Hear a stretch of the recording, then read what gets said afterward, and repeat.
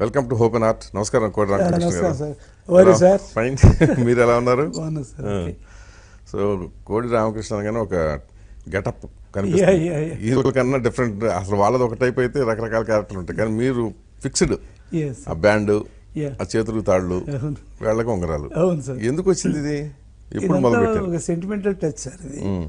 First నుంచి నా devotion అంతా మా మదర్ అంటే మార్నింగ్ ఫోర్ ఓ క్లాక్కి నన్ను పెద్దకాలకు తీసుకెళ్ళేది ఆవిడ. తీసుకెళ్ళి అక్కడ స్నానం చేయించి అక్కడి నుంచి నువ్వులు నానబెట్టేవాళ్ళు ఆవిడ. అవి తీసుకుని పెద్ద గోపురానికి వచ్చి ఐదింటి దాకా పూజ చేసుకొని ఇంటికి వెళ్ళి మా నాన్నగారు కాఫీ ఇవ్వాలి. అక్కడి నుంచి నాకు అలవాటు అయిందండి. అది ఎందుకు సెంటిమెంట్ అంటే ఓసారి మా మదర్ అలాగే తీసుకెళ్ళింది. తీసుకెళ్తే నేను మా మదర్ బట్టలు వాష్ చేస్తుంది అక్కడ. Four o'clock early morning. నేను నడుచుకుంటూ వెళ్ళాను. ఎర్ర కాలువ దగ్గర ఉంది పెద్ద కాలువ అండి. స్కిడ్ అయిపోయా. స్కిడ్ అయిపోతే నాకు ఫస్ట్ తెలుసండి మునిగిపోయిన మనిషి ఎలా ఉంటాడని. ఓకే. ఎక్కడికో వెళ్ళిపోతున్నాను వాటర్ మొత్తం మీద వాటర్ వాటర్ తాగేస్తున్నారు. తాగేస్తున్నాను. ఇందులో ఒక ఐదు నిమిషాల్లో ఎవరో జుట్టుపట్టి లాగారు. లేకపోతే కాలం మధ్యలో ఒక అతను ఈత్తు నన్ను పట్టుకొని వచ్చి తీసుకొస్తే మా మదర్కి చెప్పి ఆవిడ ఓ ఏడుపుతో కొట్టిందండి ఆ రోజు. మామూలు అభిమానం ప్రేమ ఆందోళన కొట్టింది. కొట్టి అప్పుడు తీసుకుని గుడికి వెళ్ళి పూజ చేయించి నువ్వు ఇప్పటి నుంచి దేవుణ్ణి నమ్ముకో. అదిను నీ కడుపు చల్లగా ఉండాలి. నీ కడుపు నిండుగా ఉండాలి. ఎందుకంటే మళ్ళీ నేను దాంట్లో పుట్టాలి కదా. అవును. అలా సెంటిమెంట్గా మా మదర్ చెప్పిన దాని నుంచి అప్పటి నుంచి ఇప్పుడు దాకా ఐఎమ్ ఫాలోయింగ్ దట్ ఓకే దేవుడిని నమ్మటం అంటే ఏదో పూజ చేసుకోవచ్చు బొట్టు పెట్టుకోవచ్చు. ఇన్ని తాళ్ళు దేనికి అంటే ఎవరెవరు అక్కడ? ఎవరు ఏ స్వామి వచ్చినా సరే దీన్ని కడుతుంటారండి. ఓకే. నాకు కొందరు స్వాములు తెనాలి ఆ సైడ్ కూడా ఉన్నారండి. వాళ్ళందరూ పూజలు చేసి మీకు దిష్టి తగిలింది ఇప్పుడు మీరు ఇవి కట్టుకోవాలి అని చెప్తారు. చూడండి రాత్రి ఒకటి తెగుతుంది అని. చూస్తే అలా తెగుంటుందండి ఒకటి. అలాగా ఎప్పుడైనా ఒకటి తీసేసాం అనుకోండి అరగంటలో ఇంకో సంవత్సరం కడతాడు ఎక్కడి నుంచి వస్తాడు.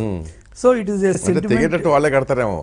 నిద్రలో తెగేటట్టుగా. ఏమో ఉండొచ్చు. అలా నమ్మకం నమ్మకం, అది basic గా. గాడ్ అనేది నమ్మకం. అంతే అంతే. ఈ రింగ్స్ కూడా ఎన్ని సెంటిమెంట్ అండి. నాకు నాకు ఫస్ట్ మురుగా. నా first picture five hundred days పైన ఆడింది. ఆడినా నాకు సినిమాలు వచ్చేవి కాదండి. సినిమాలు వచ్చేవి కాదు. వస్తే మా జేవి రాఘవల్ గారు ఉన్నాడు. నువ్వు ఫస్ట్ పిక్చర్ ఆడితే నీకేం రావు. రెండో సినిమా కూడా ప్రూవ్ చేసుకోవాలి నువ్వు. అప్పుడే వస్తాయి. లేకపోతే ఇంక ఇంతే అన్నాడు. అమ్మ బాబోయిన అప్పుడు నేను మొక్కున్నా. మురుగా నా సెకండ్ పిక్చర్ కూడా హిట్ అయితే నీకు ము- నీ ఉంగరం పెట్టుకుంటాను. ఓకే. అది కూడా వన్ ఇయర్ ఆడింది అందుకని మా ఊర్లో చేయించా ఇది. మురుగన్. మురుగన్. అందుకని ఇలాంటి ప్రెస్ మీట్లు జరిగినప్పుడు ఈ దీనికి అవి పెట్టుకోవాలి. లేకపోతే ఏ రింగ్ ఎట్లేదు నువ్వు? ఫోన్ చేస్తాడు ఇమీడియట్గా. అంతేగా. ఎందుకంటే లేకపోతే మిమ్మల్ని లేకుండా చూడలేదు. చూడలేదు వాడి ఉంగరం మిస్ అవుతుందండి. అవును. నాకు నా ఫ్రెండ్స్ అనేవాళ్ళు ఎప్పుడు ట్వంటీ ఫోర్ అవర్స్ నాకు హెల్ప్ అండి. అలాగా మా మదర్ సెంటిమెంట్ నా ఫ్రెండ్స్ సెంటిమెంట్ కలిసి ఈ ఆకారంగా తయారు చేసింది ఐఎమ్ ఎంజాయింగ్ ఇట్ అండి. I'm enjoying it. అందరికీ మ్యాచ్ అవ్వదు సార్. అందరికీ మ్యాచ్ అవ్వవు. నాకు బాగానే గర్వంగా అనుకోరండి ఇవన్నీ. లేకపోతే అడుగుతారు. అది. అదే అది ఓకే. అంటే ఎక్కువ నమ్మకం వేరు విపరీతమైన మూఢనమ్మకం వేరు కదా? అవునండి. నాది నమ్మకం దాకా ఉంటుందండి. అంతే. నేను పూజ పొద్దున్నే త్రీ అవర్స్ చేస్తా ఒక్కోసారి షూటింగ్ ఉంటే హాఫ్ అన్ అవర్ చేస్తా. ఇంకా పెద్ద షూటింగ్ అయితే కారులో వెళ్తూ పూజ చేసుకుంటా. పని అనేది ముందు గాడ్ ఓకే. అంతే అల్టిమేట్గా అదే. కదా వర్షిప్ పూజ అనేది మనకి లేజర్ టైంలో దేవుడిని నమ్మడానికే గానీ మన పరిపాటు చేసుకుని మాత్రం పూజ చేయకూడదు. అది ప్రొడ్యూసర్ అలా ప్లాన్ చేసుకుంటాను మూఢనమ్మకంగా ఉమ్, ఇది కూడా సెంటిమెంట్ గానే వచ్చింది. ఇది నాకు సెకండ్ పిక్చర్కి ఆ, నేను కోవలం బీచ్లో షూటింగ్ చేస్తుంటే రామ ఎన్టీ రామారావు కాస్ట్యూమర్ ఉన్నాడు మోకా రామారావు అని. పెద్ద కాస్ట్యూమర్ ఆయన షూటింగ్ జరుగుతుండగా మధ్యాహ్నం వచ్చాయండి త్రీ ఓ క్లాక్కి వచ్చి ఒక జేబురుమాలు తీసుకొచ్చాను అండ్ మీ ఫోర్ హెడ్ పెద్దది ఎండ ఎక్స్పోజ్ అవుతుంది. ఇది కట్టుకోండి అని కట్టాడు. కడితే కట్టుకున్నాను నేను. ఆ, రోజంతా మర్నాడు ఇది తయారు చేసి తెచ్చాడు. ఏమండి అందరూ కట్టుకుంటారు తలకి కానీ ఇది మీకు ఈ జన్మది కాదండి. మీకు ఏదో ప్రీవియస్ జన్మ అటాచ్మెంట్ అందరికి మ్యాచ్ అవుతుంది చూడండి. ఓకే. మీకు మ్యాచ్ అయింది ఇది. అందుకని లైఫ్ లాంగ్ ఇది కట్టుకోండి. అసలు మామూలుగా షూటింగ్ లేకపోయినా అది ఉంటుందా మీకు? షూటింగ్ లేనప్పుడు షూటింగ్లోనే. అంతే. షూటింగ్ డిస్కషన్స్లో మాత్రం పెట్టుకుంటానండి. ఇలాంటి ప్రోగ్రామ్స్ వచ్చినప్పుడు ఐడెంటిటీ కోసం అదే ఐడెంటిటీ కదా మీకు అది. క్రికెట్ మ్యాచ్ కదా వెళ్ళాం అనుకోండి అక్కడ యాంకర్స్ వస్తారు కదా వాళ్ళే చేస్తారండి. టవల్. పెడతారు. అలా అయిపోయింది అనమాట అలాగే ఇది అప్పటి నుంచి ఇప్పుడు దాకా ఇలా ఉందండి. ఇది ఎప్పుడు నాకు హెల్ప్ అవుద్ది అంటే నేను విశాఖపట్నం అక్కడ షూటింగ్కి వెళ్తాం కదా.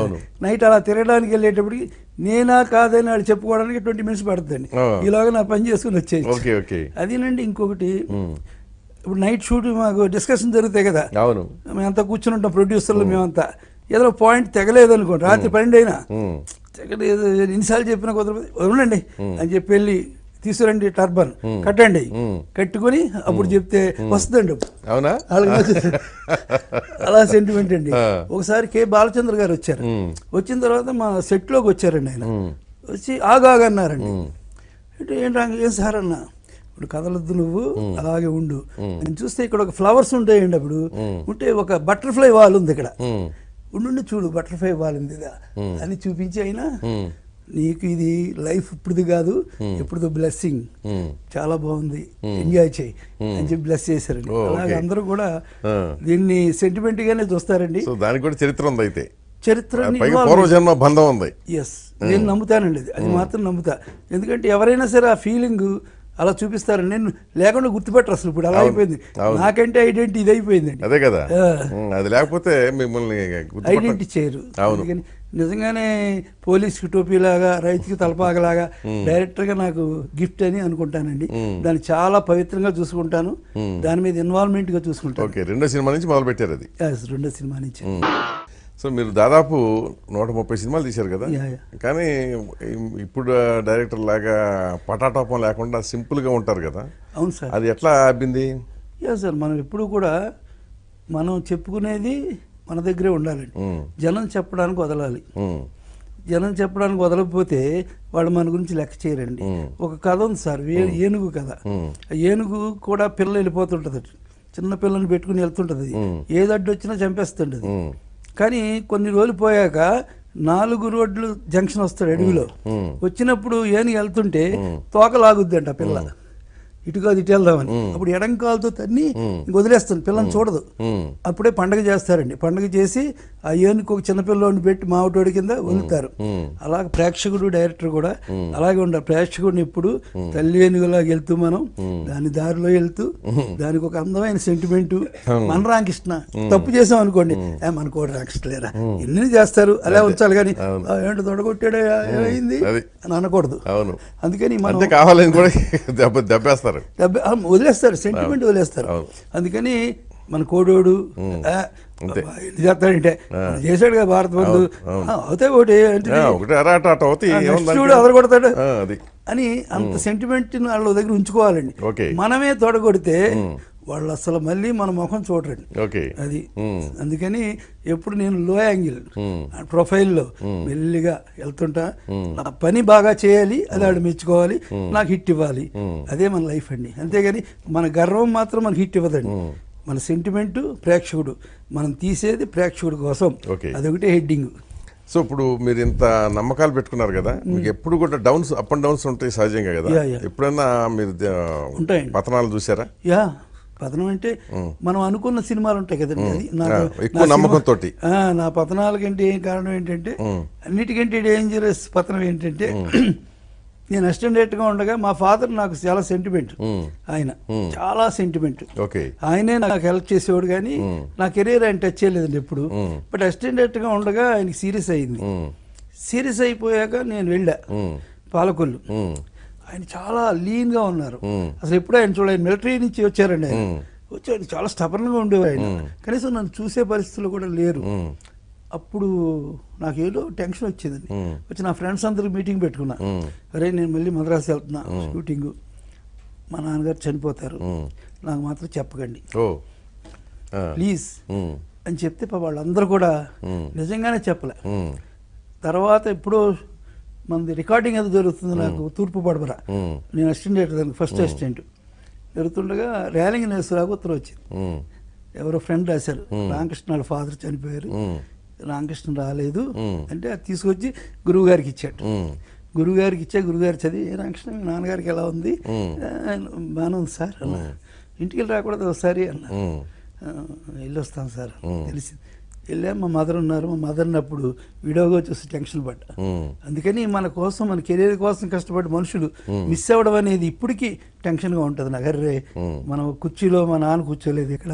మన ఇంట్లో మా నాన్న లేడే అని. సక్సెస్ చూడలేకపోయారు. చూడలేకపోయారు ఆయన. మా మదర్ చూసిందండి. మా మదర్ ఎంజాయ్ చేసింది. మా ఫాదర్ మాత్రం ఎంజాయ్ చేయలేదు రాయల్గా ఇప్పటికీ ఆయన ఎలా ఉన్నారనే ఫీలింగ్ నాకు. ఓకే. అందుకని అలా అవాయిడ్ అని చేస్తే ట్రాజడీ హెవీ ట్రాజడీ అదే నా లైఫ్లో. సో మీరు కూడా గోదావరి నుంచి వచ్చిన వాళ్ళే కదా అందరూ గోదావరి జిల్లా yeah. చాలా మంది డైరెక్టర్లు అయిపోయారు. మీకు ఇది ఎట్లా అబ్బింది అసలు ఈ డైరెక్టర్ కావాలో లేకపోతే సినిమా రంగంలోకి వెళ్ళాలని నా ఓ తెలిసినప్పటి నుంచినండి ఒక మంచం పెట్టి ఆ మంచానికి ఒక తెర పెట్టి. ఎదర పిల్లలకందరికి బొగ్గు పసుపు పౌడర్ వేసి. అక్కడ నాటకాలు వేయడం నుంచే నా కెరియర్ గుర్తండి నాకు బాగా అవునా. అక్కడి నుంచి నాటకాలు వేయండి అంతా. నాటకాలు నాటకాలు వేసుకుంటుంటే అర్ధరాత్రి దాకా చేయడం ఓడ దూకెళ్ళడం మా నాన్న తిట్టడం ఇలాంటిగా జరిగేది అదంతా కూడా. నాకు అసలు ఆర్టిస్ట్ అవ్వాలని ఉండేదండి సినిమాలోకి. ఒరిజినల్గా ఆ, అవకాశం. ఫ్యామిలీలో ఎవరు లేరుగా? ఫ్యామిలీలో ఎవరు లేరండి అసలు ఎవరు లేరు. నాకు నాటకాల్లో నేను ఆ ప్రాంతంలో అంతా నేనే హీరో. నాటకాల్లో అల్లు రామలింగ గారు అక్కడికి వచ్చి ఆడదనే ఒక నాటిక వేసేవారండి కమర్షియల్గా అందులో కూడా నేనే హీరో. అందుకని ఆయన ఎప్పుడు చెప్పేవారు ఆయన. నువ్వు ఇక్కడ డైరెక్టర్వి నేను నీకు డైరెక్టర్ని అని చెప్తుండే అలా నాటకాలు కింద ఆర్టిస్ట్గా అవుదామని అనుకునేవాడిని. కానీ గురువు గారి తాతామంటూ రిలీజ్ అయిందండి. చూస్తే అసలు సెన్సేషన్ అండి అది. అంటే ప్రతి మూల అదే మాట్లాడేవారు. అవును. అప్పుడు అనుకున్నారు ఒక ఆర్టిస్ట్ అయితే ఒక క్యారెక్టర్ చెప్పొచ్చు. డైరెక్టర్ అయితే ఎన్ని కథలు చెప్పొచ్చు. అది డైరెక్టర్ అవ్వాలి దాసనారాయణరావు దగ్గర చేరాలి అని డెసిషన్కి వచ్చా ఆయన కళ్ళడానికి అప్పుడు దాకా నాకు తెలియదు గురుగారు మా పాలకులు అని తెలుసు నా నా స్కూల్లో నేను వెళ్ళిపోయేటప్పుడు ఆయన ఎంటర్ అయ్యారు. అలాగే పరిచయం నాకు ఆయన నాటికలు మేకప్ వేసుకోవడం అంతా నేను కిటికీల్లో చూసేవాడిని అండి. అలా పరిచయం పెద్ద ఆయన. ఎలాగ గురుగారిని కలాలి అనేది కుదరలే. ఇప్పుడు జయాంధ్ర మూమెంట్ జరుగుతుందండి. అప్పుడు తాతామండ యాభై రోజులు ఆడింది. ఇప్పుడు నేను కొన్న థియేటర్లోనే యాభై రోజులు ఫంక్షన్. అయితే ఆ థియేటర్ ఓనర్కి మా స్టూడెంట్స్కి పడదు నేను స్టూడెంట్ లీడరు. దాసనారాయణ కలాలి ఫంక్షన్లో. వస్తారు ఆయన ఎలా కలాలి? అంటే మా స్టూడెంట్స్ దగ్గరికి వెళ్ళా. వెళ్ళంటే అయ్ వాడి దగ్గర ఫంక్షన్ జరుగుతుంది. వాడి వాడికి మనకి సంబంధం లేదు. వెళ్ళడానికి వీలు లేదు. ఎవరు ఫంక్షనే జరగకూడదన్న. అయ్యే నేను చెప్తున్నాను నా కెరియర్లో దాసనారాయణ మీట్ అవ్వాలి. ఇది ఒకటే అవకాశం. మీరు కొంచెం అవకాశం ఇవ్వండి స్టూడెంట్స్గా ప్లీజ్ అన్న. ఎందుకు పడలేదు వాళ్ళకి? వీళ్ళు సమైక్యాంధ్ర ఆయన ప్రత్యేకాంధ్ర. Okay okay. ఆ గొడవ ఉండేది అనమాట. ఆయన మాకు ఎగిరెస్ట్ స్టూడెంట్స్కి ఆహా. అప్పుడు సరే అందరూ మీటింగ్ పెట్టుకొని సరే రామకృష్ణకి ఫస్ట్ నుంచి సినిమాలోకి వెళ్ళాలని. దాసనారాయణ గారు వస్తున్నారు రాఘవ్ గారు వస్తున్నారు. సో మనం వదులుదాం అని పిలిచారే రామకృష్ణ ఓట్రా. నీ మీద భారం ఉంచి మా కెరియర్లో స్టూడెంట్స్ దాటి చేస్తున్నాం. మేము కూడా వస్తాం ఫంక్షన్ మేము కూడా కూర్చుంటాం. ఫంక్షన్ జరగని. ఆడు మాట్లాడతాడు కదా. అప్పుడు ఆడు ఏమైనా మాట్లాడిని. కానీ మన గురించి మాట్లాడకూడదు. తుండూరు వెంకటనారాయణరావు గారని మంచి ఆయనే. పిల్లలు. విభేదాలు. ఈ గొడవ. మనల్ని ఏమనకూడదు ఆయన. అంటే వచ్చారు దాసనారాయణ గారు అందరూ కూర్చున్నారు. నేను వెళ్ళి ఆయనకి సన్మాన పత్రం ఇచ్చానండి. ఇచ్చి చెప్పుడు నేను ఆయన మాట్లాడే ముందు నేను మాట్లాడదానని వచ్చాడు ఆయన. చుండూరు వెంకటనారాయణ గారు. వచ్చి ఆయన మాట్లాడు బాగానే.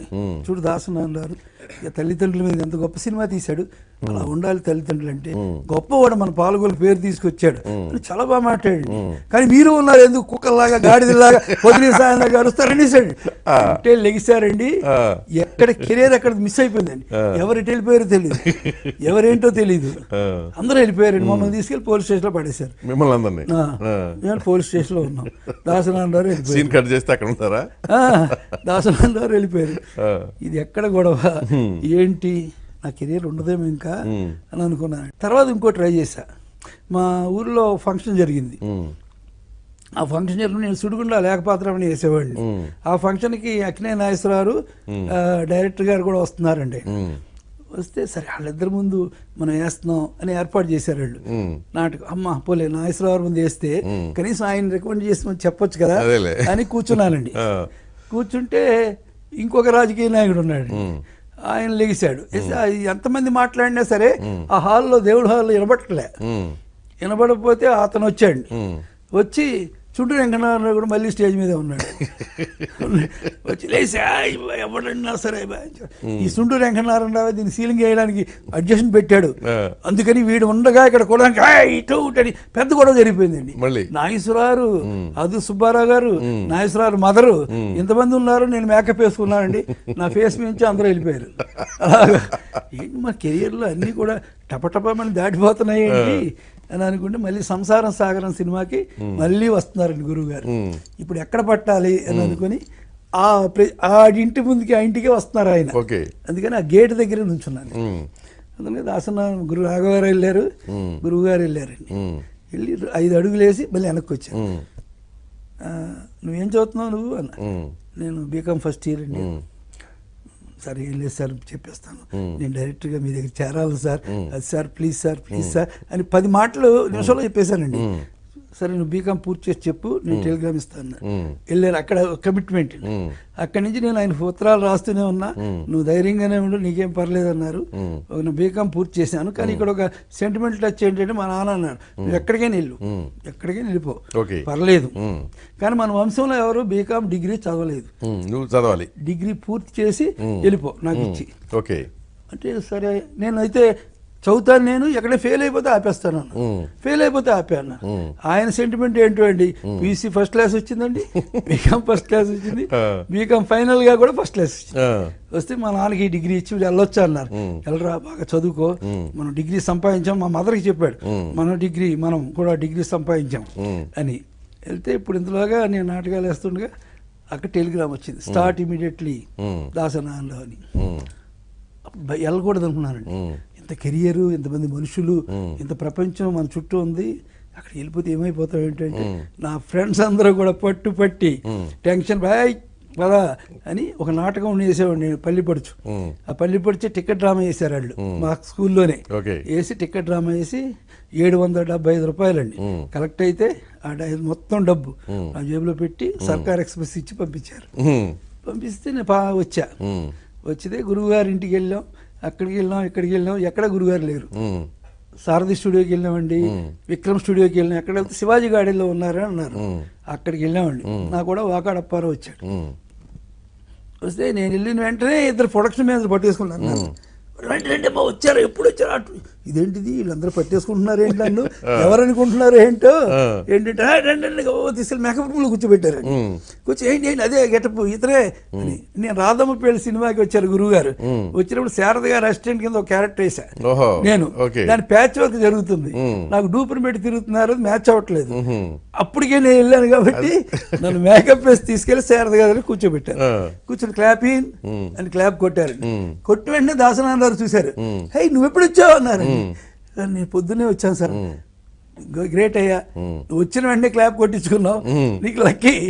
అని విష్ చేసి ఆ. రోజు గురుగారి కారెక్క మళ్ళీ అప్పటి నుంచి దిగలేదని డైరెక్టర్ అయ్యేదాకా. నన్ను ఆయన బాగా ఆదరించి తీసుకెళ్ళారు. ఇంతకీ జరిగింది ఏంటంటే గురువు గారు ఆఫీస్లో టెలిగ్రామ్ ఈ రామకృష్ణకి. అని ఒకరికి చెప్పారు ప్రొడక్షన్ మేనేజర్కి. ఇస్తే అక్కడికి వాకాడప్పారావు అనేవాడు సిఏ చదువుతూ సంతకానికి వెళ్ళాడు గురుగారి దగ్గరికి వెళ్ళినప్పుడు విన్నాడు ఉమ్. విని ఆ సంతకం కిందకు మానేసి వచ్చి పోస్ట్ ఆఫీస్కి వచ్చి అతను టెలిగ్రామ్ ఇచ్చాడు. ఆ ముందు చెప్పిన వ్యక్తి ఇప్పుడు దాకా ఇవ్వలేదు అనుకోండి. అవునా. అంతే కదా ఏదో అడవాళ్ళు ఉంటారు కదా అప్పుడు ఈ గురుగారు ఇచ్చినట్టుగా అప్పారో టెలిగ్రామ్ ఇచ్చాడు. అందుకే నా ఫస్ట్ పిక్చర్ ఇంట్లో రామ కృష్ణలో. ఫస్ట్ షాట్ బెల్ వాగాడప్పారో కొడతాడు మ్మ్. Police bell. అలాగే నా కెరీర్లో అందరూ హెల్ప్ అయిందండి. అన్ని కెరీర్లు అన్నిటికంటే గొప్ప విషయం ఏంటంటే. దాసనారావు నన్ను వాళ్ళ అబ్బాయి కంటే ఎక్కువ చూసుకున్నారు. ఆయన రూములోనే పెట్టేవారండి. ఆయనకి ఆ రోజుల్లో. పదిహేడు రూములు ఉండేవి పాంగ్రోలో. పదిహేడు రూములకి కథ డిస్కషన్ ఆయనే. అన్నిటికీ నేనే ఇన్ఛార్జ్. అలాగా ఆయన కెరియర్ని నా కూడా తీసుకెళ్ళి బాగా ట్రైన్అప్ చేశారండి. I like it so cinema కష్టాలు ఏం పడలేదా చాలా మంది పడ- పడతా ఉంటారు కదా అప్పుడు నా మ్యారేజ్ అవ్వలేదండి. ప్రతి ఆఫీసులోనూ భోజనాలు ఉండిపోయి కొట్టేసేవాడు అలాగా. రాత్రి రెండింటి దాకా ఆఫీసులో కూర్చొని రాస్తూనే ఉండేవాడిని. నేను. వచ్చానంటే ప్రొడ్యూసర్లకి భయం అండి. ఎందుకంటే ఒక్కొక్కడికి ఇరవై ఐదు కథలు చెప్పేస్తుంటాను కూర్చోండి సార్ కూర్చోండి సార్. వాళ్ళు కొందరు కూర్చొని మాట రామకృష్ణ చాలు నేను ఎనిమిది అయినాయి అనే? ఇలాంటప్పుడు. ఒక సంఘటన జరిగింది. రాఘవ్ గారు ఒక సినిమా తీస్తున్నారు. రాజశ్రీ గారు డైరెక్టర్. అయితే అక్కడ స్టూడెంట్స్ మీద ఫైరింగ్ సీన్ ఉందన్నమాట. అప్పుడు నేను ఒకసారి వెళ్ళి రాఘగారు కనబడ్డా. వచ్చాను సార్ అని "ఆ, పోవయ్యా రౌడీ అన్నారు. ఆయన చూసి ప్రొడక్షన్ మేనేజర్ని రియల్ స్టూడెంట్ రౌడీ ఒకడు ఉన్నాడు ఇక్కడ. వచ్చాడు. వాడు పట్టురండి సీరికి బాగుంటాడు అని నన్ను మోసుకెళ్ళారండి నేను గురుగారి దగ్గరికి వెళ్ళా. ఏమంటే రాఘవ్ గారు పంపించారండి. యాసం ఏమంటున్నారండి. పర్లేదు రాఘవ్ గారికి ఏముంది? వెళ్ళన్నారు నైట్ బయలుదేరి సారథిలో షూటింగ్.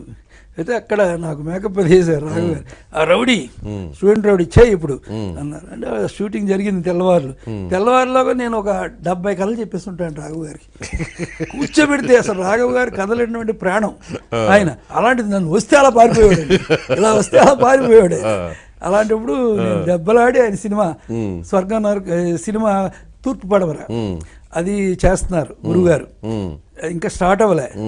నాకు ఎందుకో రాఘవ్ గారి దగ్గర చేస్తే కెరియర్కి అది హెల్ప్ అవుతుంది అనే ఫీలింగ్ అండి నాకు. అని గురుగారి దగ్గరికి వెళ్ళా. గురుగారు నేను దానికి అసిస్టెంట్గా చేస్తా. ఏ నువ్వు చేస్తున్నావు కదా మనుషులతో ఒకటే రామారావు గారిది. మళ్ళీ అది ఎందుకు? రాఘవ్ గారు సార్. ఏమో అక్కడ మన వాళ్ళు ఆరుగురు ఉన్నారు. అందుకని ఆ ఒప్పుకోడు రాఘవ్ నేను వెళ్ళి ఒప్పించుకుంటాను సార్. సరే ఒప్పించుకో అన్నారండి. వెళ్తే ఈ లింగి కట్టుకుని అటు ఇటు డమా డమా అని తిరుగుతున్నారు. ఈయన రాఘవ్ గారు. "ఆ, ఏంటో ఎలా వచ్చాను ఏం లేదు సార్ చిన్న హెల్ప్ సార్. ఏంటంటే మీ సినిమాకి నేను పని చేస్తాను సార్. "ఆ, వద్దు అసలు లోపల ఆరుగురు కూర్చుని ఉన్నారు చూడండి మీ వాళ్ళు. ఏడో వాడిని అసలు నేను ముగ్గురే పెడతాను. దాసు నారాయణరావు కాబట్టి పెట్టాను నేను. అటు పోనీ ఏడో ఒకటి పెట్టుకోండి సార్ నాకు. పెట్టుకోను. సార్ నేను కోయోళ్ళ బతిమాలేసానండి ఆయన. సార్ మీరు లేకపోతే ఎలా సార్ మీరు కెరీర్ ఎలా సార్? అది సార్ ఇది సార్ నేను ఎక్కడికి ఖర్చు చెప్తాను భయం వచ్చి. సరే సరే. నా డబ్బులు కూడా వద్దు సార్. అయితే డబ్బులు వద్దే తెలిపో డబ్బులు లేకపోతే వద్దు చేయొద్దు తెలిపో నాకు అలా ఉండకూడదు. ఇవ్వండి సార్ ఏదో ఒకటి శాసగిరి అని పిలిచాడు ప్రొడక్షన్ మీద. చెక్ రాయని వంద రూపాయలు చెక్ రాయించాడు. ఆ చెక్ అంటే ఏంటో తెలియదండి అది ఏం చేయాలో మొదటి చెక్ సంపాదన. అప్పుడు దాకా ఎక్కడో దగ్గర భోజనం చేసి బతికేస్తా ఉన్నారు. అంతే అండి. టికెట్లు కొనేవాళ్ళు నెలకి నెలకి ముప్పై టికెట్లు వచ్చేయండి. అక్కడికి వెళ్ళిపోయి టికెట్ ఇవ్వడం భోజనం చేసాడు అవి నాకు పని జరిగే కాదండి. ఎందుకంటే నేను గురుగారితో ఉండేవాడిని కాబట్టి అందుకే అందరికి ఎవరికైనా ఇచ్చేసేవాడిని అప్పుడు రాఘవ్ గారు వెళ్ళి చెక్కు రాసి ఇచ్చారు. ఏం చేయాలో తెలియదు నాకు. అందుకని పొద్దునే వచ్చి నువ్వు ఎక్కడైనా కథ చెప్పాలి నా సీన్లను రాయాలి అని చెప్పి "ఆ, వచ్చేస్తాను సార్ మీకు ఎందుకండి అని అప్పటి నుంచి వెళ్ళి గురుగారి దగ్గరికి వెళ్ళా. తిట్టాడా లేదా? అన్నారు. "ఆ, తిట్టలేదు సార్. మరి సరే అన్నారు సార్. "ఆ, చెక్కు కూడా ఇచ్చారు. ఏం చేయాలో తెలియట్లేదు లక్కీ అయ్యా నీకు. నాకే ఇంకా అడ్వాన్స్ ఇవ్వలేదు ఆయన. ఆ. "ఆ, లక్కీ అన్నారు. ఇప్పటికీ దాచుకున్నా చెక్. అవునా? అది క్యాష్ చేసుకోలేదా? చేసుకోలేదు. అలాగే ఉంచుకున్నానండి. మరి అప్పట్లో వంద రూపాయలు పెద్ద అమౌంట్ కదా. పెద్ద అమౌంట్ అండి. అలాగే ఉంచుకున్నాను. ఉంటే అప్పటి నుంచి గురుగారు చెప్పేవారు నీకు అన్ని మంచి జరుగుతున్నాయి కంగారు పడకు అని చెప్పారండి. అలాగా ఒక కెరియర్లో అందరినీ కొంచెం మంచో చెడో నాకు ఉందో లేదో టాలెంట్ చేసేవాడిని అండి. తూర్పు పడవల సినిమా డబ్బింగ్ అండి. ఇప్పుడు రాఘవ్ గారు ఎందుకో వాసు స్టూడియోలో పక్క నుండి వచ్చారు. రామకృష్ణ ఎప్పటికైనా నేను డైరెక్ట్ చేస్తాను నేను. షూర్ అని ఎందుకు చెప్పాడు? అని చెప్పాడు? నేను కామెడీ అనుకున్నానండి. అలా చెప్పినట్టుగానే ఆయన వన్ ఇయర్లో వచ్చి నా ఎయిటీ రూమ్ నుంచి తీసుకెళ్ళి గురుగారు ఏ రూమ్లో కూర్చున్నారో ఆ రూమ్లోనే కూర్చోబెట్టి నువ్వు డైరెక్టర్ అని చెప్పారు నాకు ఓకే అప్పుడు ఫస్ట్ సినిమా స్టార్ట్ చేసాం ఇంట్లో రామవేదిలో Krishnayya? Yeah first? Tarangini. Tarangini. One year Tarangini work అయిపోయిందండి. ఏదైనా నీ ఫస్ట్ పిక్చర్ కదా నీది? ఇంకేదైనా కాస్టింగ్ ఉంటే బెటర్ అని చెప్పి ఆ రోజు అది క్యాన్సిల్ చేసి ఇంకోటి మొదలు అంటే తరంగిణి షూటింగ్ మొదలవగాల స్టోరీ డిస్కషన్ అప్పుడు ఇది ఇంట్లో రామయ్య కథ రాశా. అది సిక్స్ మంత్స్కి అది రాసాం గొల్లపూడి మారుతిరావు ఉండేవారు అక్కడ. ఆయన సపోర్ట్ తీసుకున్నాను కొంచెం. ఎందుకంటే చదువుకున్న వాళ్ళు అంటే రావు గారికి చాలా ఇష్టం. అందుకని నీ కథ చెప్తున్నా మీరు పక్కన ఉండాలి ఎందుకంటే దాసరి గారు కూడా ఆయనే కదా ఫస్ట్ అవకాశం ఇచ్చింది? రాఘు గారు అండి. ఉమ్, రావు గారు కథనే దాకా వచ్చారు. వచ్చిన తర్వాత అప్పుడు ఇంట్లో రామయ్య కథ చెప్పానండి అయితే నాకు కథ నచ్చలేదయ్యా. సంగీత క్యారెక్టర్ నచ్చింది నాకు. అందుకని ఒప్పుకుంటున్నాను అన్నారు. "ఓ, ఏదో నచ్చింది కదా సార్. లెవెల్లో మేము ముందు నచ్చలేదన్నారా? ఇంట్లో రామయ్య వీధిలో కృష్ణయ్య? సంగీత క్యారెక్టర్ నచ్చింది అన్నారు. సరేని ఒక గండం గడిచింది. ఓకే. ఓకే చేశాక ఇప్పుడు కాస్టింగ్ వైపు వెళ్ళారు ఆయన. ఇప్పుడు ముందు కాస్టింగ్ లేదు కదా. అవును. అనేసి రాఘవ్ గారు కూడా కాస్టింగ్ చేశారు. సార్ ఇది కాదు సార్. నేను చిరంజీవి గారిని పెట్టుకుంటాను సార్. ఆ, "ఆ, అమ్మ చిరంజీవి నా స్కూల్కి అలా కుదరదు. నాదంతా బడ్జెట్ అది ఇది రాఘవ గారు. రాఘవ్ గారు. అది కాదు సార్ నేను అడుగుతాను సార్. ఏమో నాకు తెలియదు అసలు. నాకు ఇష్టం లేదు నాకు ఆయన గౌరవించలేను నేను. కానీ అప్పటికి చిరంజీవి అంత పెద్ద స్టార్ అవ్వలేదు. కాదు కానీ ఈయన రాఘవ్ గారి స్కూల్కి. కొంచెం ఎక్కువ. ఎక్కువ కదా. ఈయన బతిమాలే గ్యాంగ్ కాదు కదా. కాదు కాదు దబాయించే గ్యాంగ్ ఇది. గ్యాంగ్. పెద్ద అయినా సరే అని నేను వీణ స్టూడియోలో ఉంటే వెళ్ళా చిరంజీవి గారి దగ్గర. ఫస్ట్ వెళ్ళిన వెంటనే సార్ నాది మొగల్తూరు సార్ ఉమ్. మొగల్తూరా? అంటే పాలకొల్లు పక్కనే కదా సార్. నాది పాలకొల్లు సార్. చిన్న ట్రిక్స్ వాడారు. ఏంటి ఏంటి ఇలా వచ్చారంటే ఏం లేదు సార్. నేను రాఘవ్ గారు అనే సినిమా ఛాన్స్ ఇచ్చారు సార్. నాకు అవునా బెస్ట్ ఆఫ్ లక్. నా దగ్గరికి ఎందుకు వచ్చా అన్నారు. ఉమ్. "ఆ, మీరు అందులో హీరో ఇవ్వాలి సార్. నేనా? రాఘవ్ గారిదా? అమ్మో. అమ్మో ఎంత డిసిప్లిన్ అదే అది అగ్రిమెంట్లు అయ్యి. లేదు సార్ మీరైతే బాగుంటుంది సార్. ఈ క్యారెక్టర్ పలానా ఆర్టిస్ట్ అయితే బాగుంటుంది కదా నీకు? బాగు కాదు సార్ మీరైతే బాగుంటుంది సార్ ఈ కథ కింద "ఉమ్, సరే అనేసి సరేలే రాఘవ్ గారిని తీసుకురా మాట్లాడతా అన్నారు ఉమ్. వెళ్ళా రాఘవ్ గారి. సార్ చిరంజీవి గారు రమ్మన్నారు సార్ మిమ్మల్ని." అవునా. అని స్టూడియోకి వచ్చారు ఆయన. వచ్చిన వెంటనే ఆయన కూడా జై చిరంజీవియా. మీ నాన్నకి ఛాన్స్ ఇచ్చింది నేను అన్నాడు. ఒరి బాబు ఇదేంటిది? ఎవరు అనుకుంటున్నాడు ఇన్ని. చిరంజీవి గారిని. వాళ్ళ నాన్న అంటున్నాడు ఏంటి ఈయన? ఆయన ఆఫీసర్ పోలీస్ అదే కదా. కాదండి ఆయన వీళ్ళ ఫాదరు వెంకట్రావు గారు. రాఘవ్ గారి సినిమాలో వేషం వేశారంట. అక్కడ గుర్తుపెట్టుకున్నాడు ఈయన. అదేంటే "ఆ, అవునా? మా నాన్న చెప్పారు అప్పుడు "ఆ, ఓకే. ఏ చంపేస్తున్నాడు రామకృష్ణ. నువ్వు వద్దన్న చిరంజీవితో నేను తోగలేనయ్యా. అని చెప్పా. కానీ నువ్వే అని పట్టుకున్నాడు. ఇది. సర్లేండి మరి చెప్పాడు కదా కుర్రాడు. మరి ఏంటంటే ఇప్పుడు దూడల సంతలో ఇలా ముసిగేసి మాట్లాడతారు రేట్లు. అలాగే ఇలా ఇలా అలాగా. ఇద్దరు మాట్లాడుకున్న. వెంటనే చిరంజీవి గారు లేశారు. ఏమంటే రావు గారు మీ డబ్బు సంగతి నాకు అక్కర్లేదండి. ఆ కుర్రోడు వచ్చాడు. అందుకు నా దగ్గర సెకండ్ ఇచ్చాను. అందుకని నేను మీ ఫ్రీగానే చేస్తాను ఈ సినిమా. ఆ సినిమా చేస్తున్నాను. కానీ రామకృష్ణ నైట్ వచ్చి నాకు కథ చెప్పు. ఈ కథ ఓకే అయితే. అప్పుడు ఓకే లేకపోతే నేను చేయను. అని వెళ్ళి నైట్ ఆయన బెడ్రూమ్కి వెళ్ళి. గిరి రోడ్లో. కథ చెప్పాను. ఫోర్ అవర్స్ చెప్పాను. ఎన్నో వెంటనే ఆయన కాఫీ తాగుతావా అని అడిగారు మ్మ్. కొంప మునిగిపోయింది అంటున్నాను అంటే అక్కర్లేదు సార్ అని. ఆ. "ఆ, నేను చెప్తున్నాను. నువ్వేమనుకోకు నాకు నా క్యారెక్టర్ నచ్చలేదు. మామూలుగా ఉంది నాకు. సార్ సార్ అయ్యో బాబోయ్ అనేసి వణుకొచ్చింది నాకు. కానీ పూర్ణిమ క్యారెక్టర్ నచ్చింది నాకు. ఆ క్యారెక్టర్ పక్కన నేను ఉంటున్నా. ఆ క్యారెక్టర్ సేవ్ చేస్తున్నా. దాని సెంటిమెంట్లో పార్టిసిపేట్ చేస్తున్నా. అందుకని నా క్యారెక్టర్ ఎలివేట్ అవుతుంది. అందుకని ఈ సినిమా చేస్తున్నాను ఓకే. అలాగే ఆయన ఓకే చేసి. సినిమా అంతా పాపం ఎంతో కష్టపడి చేశారండి. ఎంత నిగోలు గిగోలు ఏవి లేకుండా. ఆఖరికి నరసాపురం వెళ్ళిన క్లైమాక్స్ తీయడానికి. అక్కడ లాంచి దాటాలి. అప్పుడు పూలదండలు మర్చిపోయాం. రాఘవ్ గారికి మళ్ళీ ఇక్కడికి వెళ్ళి మర్చిపోయామంటే తీసేస్తాడండి. అది ఇమీడియట్గా తీసేస్తారు ఆయన. అవునా? మరి పూలదండ. చండ పద్ధతి అంటే పద్ధతి. అప్పుడు రాఘవ చిరంజీవి గారు వచ్చి నాకు మనం ఏం చెప్పదు పదని. కారు తీసుకుని ఆయనే డ్రైవింగ్. ఆ డ్రైవింగ్లో తీసుకెళ్ళి పాలగొల్లు వచ్చి దండలు కొనుక్కొని మళ్ళీ వెళ్ళిపోయాడు ఆ టైంకి. రాఘవ్ గారు వచ్చే టైంకి. వెళ్ళి దండలు వేసి క్లైమాక్స్ తీసాం. క్లైమాక్స్ అయిన వెంటనే చిరంజీవి గారి ఇంట్లో భోజనాలు పెట్టారు మాకు. ఆ నైట్. Evening six. షూటింగ్ అయిపోయింది. ఆయన పడవ మీద ఉన్నాడండి. నేను లాంచ్ మీద ఉన్నా. ఉమ్. ఆ, రామకృష్ణ అని నారించగా ఒలుస్తున్నాడు ఆయన. ఎవరు? చిరంజీవి గారు. కింద ఏం సార్ అన్న? ఇదిగో అని నారించగా పూర్తిగా ఒలిచాడు. ఏదో మనం కష్టపడి చేసాం. నువ్వు ఫస్ట్ టైం ఈ నారించకాయ ఇసురుతున్నప్పుడు. ఇది నువ్వు నోటితో పట్టుకోవాలి. పట్టుకుంటే సినిమా హిట్. పట్టుకోకపోతే సినిమా ఫట్. ఇది నా డెసిషన్ అన్నాడు. సార్ టెన్షన్ పెడుతున్నారు ఏంటి సార్? ఇది శుభ సందర్భంలో ఏమో నాకు అనిపించింది అంతే వేస్తున్నారు. పట్టుకుని వేసేయండి. కరెక్ట్గా వచ్చి నోట్లో పడింది నిజంగా పడింది ఓకే. అడితే అందరూ చప్పట్లు కొట్టారండి. చిరంజీవి గారు కూడా వచ్చి చేశారు. ఉమ్. అలాగ మా కెరియర్ అనేది అలా స్టార్ట్ అయ్యి అక్కడి. తర్వాత వచ్చిన భయంకరమైన ప్రాబ్లం ఏంటంటే ఆ సినిమాకి సెన్సార్ ప్రాబ్లం అండి.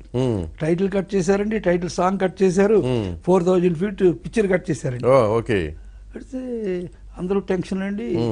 రాఘవ్ గారు మాత్రం నేను ఇవ్వను సెన్సార్ వాళ్ళకి. అని ఇరవై నాలుగు మీటింగ్స్ పెట్టారు సార్ ఇండస్ట్రీ మొత్తం. ఇటంతా ఇండస్ట్రీ ఉండేవారు. డిఎస్ రాజు గారు ఎంఎస్ రెడ్డి గారు వాళ్ళు ఇరవై అందరూ ఈ పక్కంతా సెన్సార్ వాళ్ళు. మేము ఇవ్వం సినిమా. కామెడీ సినిమా దీన్ని ఇంత కట్ చేస్తే ఎలాగా? అని అలాగ ఒక టూ మంత్స్ జరిగిందండి. తర్వాత ఒక ఆఫీసర్ మారిపోయాడు. ఉమ్. మహాలింగం అని ఒక ఆయన వచ్చాడు. వచ్చి ఆయన అందరిని తిట్టాడంట అందరూ బ్యాడ్గా చెప్తున్నారు సెన్సార్ గురించి సినిమా కామెడీ సినిమా అంట కదా అని. ఆఖరిని ప్రివ్యూ థియేటర్లో లాస్ట్ షో. అందరూ చూస్తున్నారు సెన్సార్ వాళ్ళు. నేను వీళ్ళందరికీ దండం పెట్టి ఏమండి ఒక ఆయన నా ఛాన్స్ ఇచ్చారు. నేను కుర్రోడిని స్కూల్ నుంచి వచ్చాను. మీరు ఓకే చేస్తే నాకు లైఫ్ ఉంటది. లేకపోతే నేను మా ఊరు వెళ్ళిపోవాలండి. ఇది సెంటిమెంట్ టచ్ అని ఒక అపీల్ ఇచ్చా. వచ్చేటట్టుగా అందరూ మళ్ళీ వెళ్ళిపోయారండి. చూసి వెళ్ళిపోయారు అంతే. అంతే. ఓరి బాబు నా జ్వరం వచ్చింది. పడుకుంటే మారుతురావు వచ్చారు బాగా. కంగారు పడక ఇంకో ఛాన్స్ వస్తేమోలే నీకు. నన్ను పెట్టుకున్నావు నువ్వు అని. రాఘవ గారు రమ్మంటున్నారని కాల్ వచ్చింది. అయిపోయింది మన కెరియర్. ఇంకా ఆయన ఏదో ఏదో చేద్దాం అంటాడు. వెళ్తే తిరుగుతున్నాడు కోపంగా టచ్ చేసుకొని. ఎవరు నేను? ఏమైనా ఏమైనా యాక్టివిటీ అన్న అంటే వాళ్ళు ఏం చేశారండి సెన్సార్ వాళ్ళు? టైటిల్ ఓకే చేశారండి పాటలు ఓకే చేశారు మొత్తం అంతా ఓకే చేశారు. ఒక్క షాట్ మాత్రం అడిగారండి వాళ్ళు. ఆ ఒక్కటి ఇవ్వనని గొడవ చేస్తున్నప్పుడు ఒకడు కూడా? ఒక్కటి ఇవ్వను బాబు ఇచ్చేయండి సార్ మీకు దండం పెడతాను సార్ నేను ఇవ్వను అదేంటి ఇంత కష్టపడి నేను ఆ ఒక్క షాట్ మాత్రం ఎందుకు ఇవ్వాలి? ఎలాగా? ఇవ్వను. వాడికి ఏం చేస్తారు చూస్తాను. నేను జర్మనీ వెళ్ళిపోతాను జపాన్ వెళ్ళిపోతాను అందరిని తీసేస్తాను ఒబామాలకి లాక్కొస్తాను అని లెవెల్లో మాట్లాడుతున్నాను నేను. అప్పుడు నేను డివిఎస్ రాజు గారి దగ్గరికి వెళ్ళా. సార్ రాజు గారు మీ మాట వింటారు సార్. ఒక్క చిన్న కట్ట అడిగారండి ఇచ్చేస్తే మనం బయటపడిపోతాం కదా సార్. అని ఆయన పాప వచ్చారు లింగి కట్టుకుని. ఏంటి రాఘవా ఏంటి? ఓకే అంటే కదా సార్ "ఆ, అది ఇవ్వలేదు సార్. ఏ రాఘవ ఊరుకోయ్యా ఆ. ఒక షాట్ కదా. నేను చాలా ఇచ్చాను అలాగా ఆయన కన్విన్స్ చేస్తే. ఒక చిన్న షాట్ ఇచ్చి సర్టిఫికేట్ వచ్చింది. అట్ట బయటపడింది అది. బయటపడింది. ఐదు వందల ఆరు వందలు ఐదు వందల అరవై రోజులు ఆడింది. ఐదు వందల అరవై రోజులు. ఎంత మీరు రెమ్యునరేషన్ అప్పుడు ఫస్ట్ది నాకు రెమ్యూనరేషన్ వంద రూపాయలు ప్రతి నెల నా ఖర్చులన్నీ ఆయనే. హోటల్స్ గిటల్స్ అంతా బాగా చూసేవాడు. సినిమా డైరెక్ట్ చేసినందుకు. బట్టలు కుట్టించేవాడండి. అన్ని రాయల్గా అంతేకాని ప్రత్యేకంగా ఒక ఐదు వేలు పదివేలు లేదు. లేదు. ఖర్చులన్నీ ఆయనే కదండి. అదే కానీ ఆ రోజు మీరు చిరంజీవి ఎంత మెగాస్టార్ అవుతారని ఎక్స్పెక్ట్ చేశారు అసలు? నాకు చిరంజీవి గారి మీద ఒక నమ్మకం మాత్రం ఉండేది సార్. స్ట్రగుల్. మనిషి స్ట్రగుల్ ఉండదు ఇగో లేదు. మనిషికి భయం అండి. మనిషి కెరియర్ మీద భయం. ఏమవుతుంది? ఏంటి ఎలా అవుతాను నేను? ఇలా చెప్తానా? అందరూ ఒప్పుకుంటారా? ఎవరు వచ్చారు. అదే అహం లేకపోవటం. ఎవరు వచ్చారు నాకు రెండు లక్షలు ఇస్తానంటున్నారు. అటు డబ్బులు వస్తాయా? ఈ భయం ఉండేది. ఆ భయం ఎప్పటికీ మనిషికి మంచిదండి. జాగ్రత్తగా నడిపిస్తుంది. నడిపిస్తుంది. కెరియర్ లేకపోవడం అనేది నమ్మకం. చిరంజీవి గారు డెఫినెట్గా పర్సనాలిటీ మంచిదండి. నేటివిటీ పర్సనాలిటీ అంటే మాస్ వాళ్ళకి ఎవరికి నేటివిటీ పర్సనాలిటీ ఉండదండి. ఆయనకి మాస్ నేటివిటీ పర్సనాలిటీ అందుకని తప్పకుండా నాకు అప్పుడు అప్పుడే మా కారులో వెళ్తుండగా మా షూటింగ్ జరిగేటప్పుడే ఆయన ఖైదీ కథ టేప్ వినిపించేవాడు. నాకు చెప్పారు చూడండి విని ఎలా ఉంది రామకృష్ణ అని. బాగుంది సార్ ఇది మాస్గా. దాని తర్వాత మాస్ కోదండరామరెడ్డి గారు. ఓకే. సో మీకు తర్వాత మ్, తరంగిని మళ్ళీ తీశారుగా? ఆ తర్వాత ఒప్పుకున్నాడు ఆయన? ఆ, ఇట్ అయ్యాక తరంగిణి సేమ్ ఆ కాస్టింగ్ సుమను భానుచందర్ శ్యామలా గౌరి. గారు ఎప్పుడేం అబ్జెక్ట్ చేయలే? అభివృద్ధి చేయలేదండి త్వరగా తీయి ముందు అది త్వరగా తీయాలని ఆయన గొడవ అండి. ఇలాంటప్పుడు మారుతిరావు మీద గొడవ వచ్చింది. ఎందుకంటే ఫస్ట్ పిక్చర్ హిట్ అయింది. వాళ్ళ రేడియో వాళ్ళందరూ కూడా ఆయన మీద కంప్లైంట్ చేశారు. అప్పుడప్పుడు రిజైన్ చేస్తాననేవాడు ఆయన. వద్దని సినిమా నమ్ముకోకూడదు. మనం ఇలా ఉండకూడదు. తర్వాత చెదురుగానే అనేవాడిని. మేము. తరంగిణి తీసేటప్పుడు ఆయన మీద కంప్లైంట్ వచ్చింది. అప్పుడు రిజైన్ చేశారు ఆయన ఇంట్లో. ఆయన అలా తరంగిణి తీసి అది వన్ ఇయర్ ఆడింది. అది సూపర్గా అది అది మంచి పేరు వచ్చింది అంతే. ఆ మధ్యలో గ్యాప్ వచ్చింది కదా మీకు? ఇంట్లో రామయ్యకి వీధిలో కృష్ణకి తరంగినికి మధ్యలో? అవకాశాలు. రాలేదు కదా? అవకాశాలు ఏమి రాలేదు. గురుపాదం గారని మాత్రం ఐదు వేలు అడ్వాన్స్ ఇచ్చాడు. ఒక ఆయన బాగా గుర్తు నాకు. సినిమా తీయలే. కథ వాళ్ళు ఎవరు ఇవ్వలే. ఉమ్. అది తరంగిణి హిట్ అయిన తర్వాత. అప్పుడు పెద్ద పెద్ద కంపెనీలు వచ్చినాయండి. రెస్పాన్సిబిలిటీగా చేశారు. ఇక అప్పటి నుంచి వెనక్కి తిరిగి చూసుకోవాలా? తర్వాత థర్డ్ పిక్చర్ మళ్ళీ. చిరంజీవి గారితో ఆలయ శిఖరం చేసాం. ఆర్వోలో. అది కూడా వన్ ఫిఫ్టీ డేస్ ఆడిందండి ఓకే. మూడు మంచి కెరీర్ స్టార్టింగ్గా ఉన్నాయని అద్భుతంగా మొదలైంది. అయిన తర్వాత దాని తర్వాత చిరంజీవి గారితో ఒక పెద్ద బ్యానర్ త్రివిక్రరావు గారి బ్యానర్ అండి. అది గూఢచారి నెంబర్ వన్ చేయాల్సి వచ్చింది. అది మనం డిఫరెంట్గా చేద్దాం. మాస్గా ఉండాలని నేను సత్యానంద్ గారు కూర్చొని అది టెన్ డేస్లో రాసామంట కదా త్రివిక్రరావు గారికి వినిపించాం. వినిపిస్తే ఆయన ఒక మాట చెప్పాడు అది. రామకృష్ణ ఈ సినిమా నువ్వు మాస్ అనుకోకుండా తరంగిణి తీసావు కదా. క్లోజ్గా అలా తీయాలని. ఓ మనకు కూడా ఒక టేకింగ్ అనేది వచ్చింది ప్రొడ్యూసర్లో. అని అది ముప్పై నలభై రోజుల్లో తీసామండి ఆ సినిమా. అప్పుడు మా గ్రాఫిక్స్ ఏవి లేవండి. మేము. మాన్యువల్ గ్రాఫిక్స్ ఏకనాథ్తో పెట్టి తీసాం. అది కూడా సూపర్గా ఉంటుంది ఆ సినిమా. నాకు నచ్చింది ఆ సినిమా మాస్లో అలా కెరియర్ అనేది మెల్లిమెల్లిగా జాయిన్ అయితే వచ్చిందండి. నా కెరియర్కి ఎక్కువ నా టాలెంట్ తర్వాత ఉమ్. హెల్ప్స్ ఎక్కువ అండి. చాలా మంది సినిమా- మంచి ప్రొడ్యూసర్లు మంచి వాళ్ళు మంచి ఫ్రెండ్స్. అదృష్టం కూడా కలిసి కలిసి వచ్చింది ఉమ్. అందుకే నాకు చాలా మంది అడిగిన ఎవరు కూడా మిమ్మల్ని కాదల్లా కాదలేదు కదా. ఎందుకంటే నాకు తెలి నాకు తెలిసిన తెలివైన వాళ్ళు చాలా మంది ఉండేవారు సార్. వాళ్ళందరూ ఏంటి ఇంత బాగా చెప్తున్నారు వీళ్ళంటే. వాళ్ళకి ఆ హెల్ప్లు రాలేదు. అదే నేనేది. అదృష్టం అది. గురువు గారు కంకణం కట్టడం. రాఘవ్ గారి కెరియర్. ఈ రెండు బాగానే హెల్ప్ అయినాయి. జనరల్గా గురుభక్తి చాలా మందికి ఉంటుంది కానీ తర్వాత తర్వాత సరే అది ఎదిగే కొద్దీ అది తగ్గుతూ ఉంటుంది. మీరు దాసరి విషయంలో మీరు మోహన్ బాబు ఎక్కడ దొరికినా వదలకుండా పొగుడుతూ ఉంటారు ఆయన్ని. ఎందుకు అంత అటాచ్మెంట్ నా మా కెరియర్లో ఆయన చేసిన హెల్ప్. ఆయన స్పాను మర్చిపోలేదండి ఇప్పుడు ఎవరు పాలకొల్లో ఎక్కడో ఉండే కుర్రోడికి ఆయన వచ్చి తీసుకొచ్చి ఆయన దగ్గర చేర్చుకొని ఆయనకి అంతమంది ప్రొడ్యూసర్ ఛాన్స్ చేసి ఆయనకి ఛాన్స్ ఇచ్చిన రాఘవ్ గారే నాకు పరిచయం అయ్యేలా చేసి నాకు కెరియర్ వచ్చేలా చేస్తే ఇది సామాన్యులు ఎవరికి చేసే పని కాదు. ఇది ఓన్లీ దాసరి గారి వల్లే జరిగింది నాకు. ఓకే. గురుగారు వల్ల. అందులో గురుగారు ఎప్పుడు నన్ను దగ్గరగా ఉంచుకునేవారండి ఏదో రాసిన గవ చెప్తే రాసి ఆయనకి ఇమీడియట్గా ఇచ్చేయడం. ఆ వర్క్ అంతా బాగా నేర్పారండి ఆయన. నేర్పి ఎలా ఉండాలో నేర్పారండి ఆయన. సో మీరు మీ మొదటి సినిమా హిట్ అయినాక దాసరి గారు మీ గురువు గారి దగ్గర నుంచి వచ్చిన కాంప్లిమెంట్ ఏంటి? ఆయన ఫంక్షన్కి వచ్చారు కదండి. రాఘు గారు కారు ఇస్తా అన్నారు కదా. ఆయన రాఘు గురుగారికి కారు ఇచ్చారు నాకు కారు ఇచ్చారు సిక్స్ జీరో సిక్స్. ఇప్పటికీ అదేనండి నాకు నెంబరు. Six zero six. ఆ ఫంక్షన్కి వచ్చారు గురుగారు. వచ్చి ఫంక్షన్లో బాగా మాట్లాడారు. వచ్చి రామకృష్ణ తప్పకుండా ఇంత గొప్పవాడు అవుతాడు అనుకున్నాను నా పేరు నిలబెడతాడు అనుకున్నాను. నా పేరు నిలబెట్టాడని మాట్లాడారు. అదే మాట మొన్న కూడా మాట్లాడారు. రామకృష్ణ నా పేరు నిలబెట్టారని. అందుకని మా గురువు గారిని మించిన శిష్యులు మేము అక్కర్లేదండి. ఆయన తగ్గ శిష్యులు అయితే చాలు. అంతేనా? అంతే. గురువుని మించిన శిష్యుడు కాదు. అక్కర్లేదు అక్కర్లేదు చాలండి. దాసరి గారి కెరీర్ అనేది ఇస్ ఎ పీక్. నాకు తెలిసింది. ఎందుకంటే అన్ని విధాలా ఆయన దగ్గర స్ట్రాంగ్ పాయింట్స్ ఉన్నాయండి. అవును. పర్వతానికి ఒకే శిఖరం ఉంటది. అవును. ఆయన శిఖరాలు అన్ని శిఖరాలే. అంటే మేము ఆ గురువు గారిని మనసారా నమ్ముతాం. అదేలేండి. అదే అర్థమైంది లేకపోతే అంత మా ఫాదర్లా నమ్ముతాం. ఫీల్ అయ్యి మీరు చెప్తున్నారు మరి నటించడం కాదు కదా కాదు. సో మరి పెళ్ళి ఎప్పుడు చేసుకున్నారు? నేను పెళ్ళి ఆ, రంగులు పులి అనే సినిమా జరుగుతుందండి. ఉమ్, రంగులు పులి అనే సినిమాలో మా మిస్సెస్ అందులో హీరోయిన్ ఒక క్యారెక్టర్ మారుతిరావు కూతురి క్యారెక్టర్ అవునా? ఓకే ఆవిడ ఆర్టిస్టా ఆర్టిస్ట్. చిన్న చిన్న క్యారెక్టర్లు వేసేది. వాళ్ళ ఫ్యామిలీ ఇక్కడే ఉండేవారు. ఉమ్. అంటే చెన్నైలోనా? ఎక్కడ ఉండేవాళ్ళు? చెన్నై. ఉమ్, చెన్నైలోనే ఇదంతా. అయితే అందులో వేసింది అమ్మాయి. వేసినప్పుడు షూటింగ్లో మారుతిరావు కూతురు. ఆయన పక్కన కూర్చున్నది నేను వెళ్ళి మాట్లాడుతుండేవాడిని. మ్మ్. మరి సెంటిమెంట్గా మాట్లాడుతుండేది అమ్మాయి. అదుగా నాకు ఎప్పుడు మటన్ అంటే ఇష్టం. నిన్న మా వాళ్ళు మటన్ ఇవ్వలేదు. ఇలా చిన్న చిన్న కంప్లైంట్ చేసేది అలాగే నాకు పొద్దున్నే ఆరెంజ్ జ్యూస్ అంటే ఇష్టం. ఇవాళ ఆరెంజ్ జ్యూస్ ఇవ్వలేదు. అని చెప్తుండేది అరే ఏంటిది పాపం. ఈ అమ్మాయి ఆర్టిస్ట్ అయితే ఏమైపోద్ది? ఉంటుందో లేదో అనే ఫీలింగ్ వచ్చి.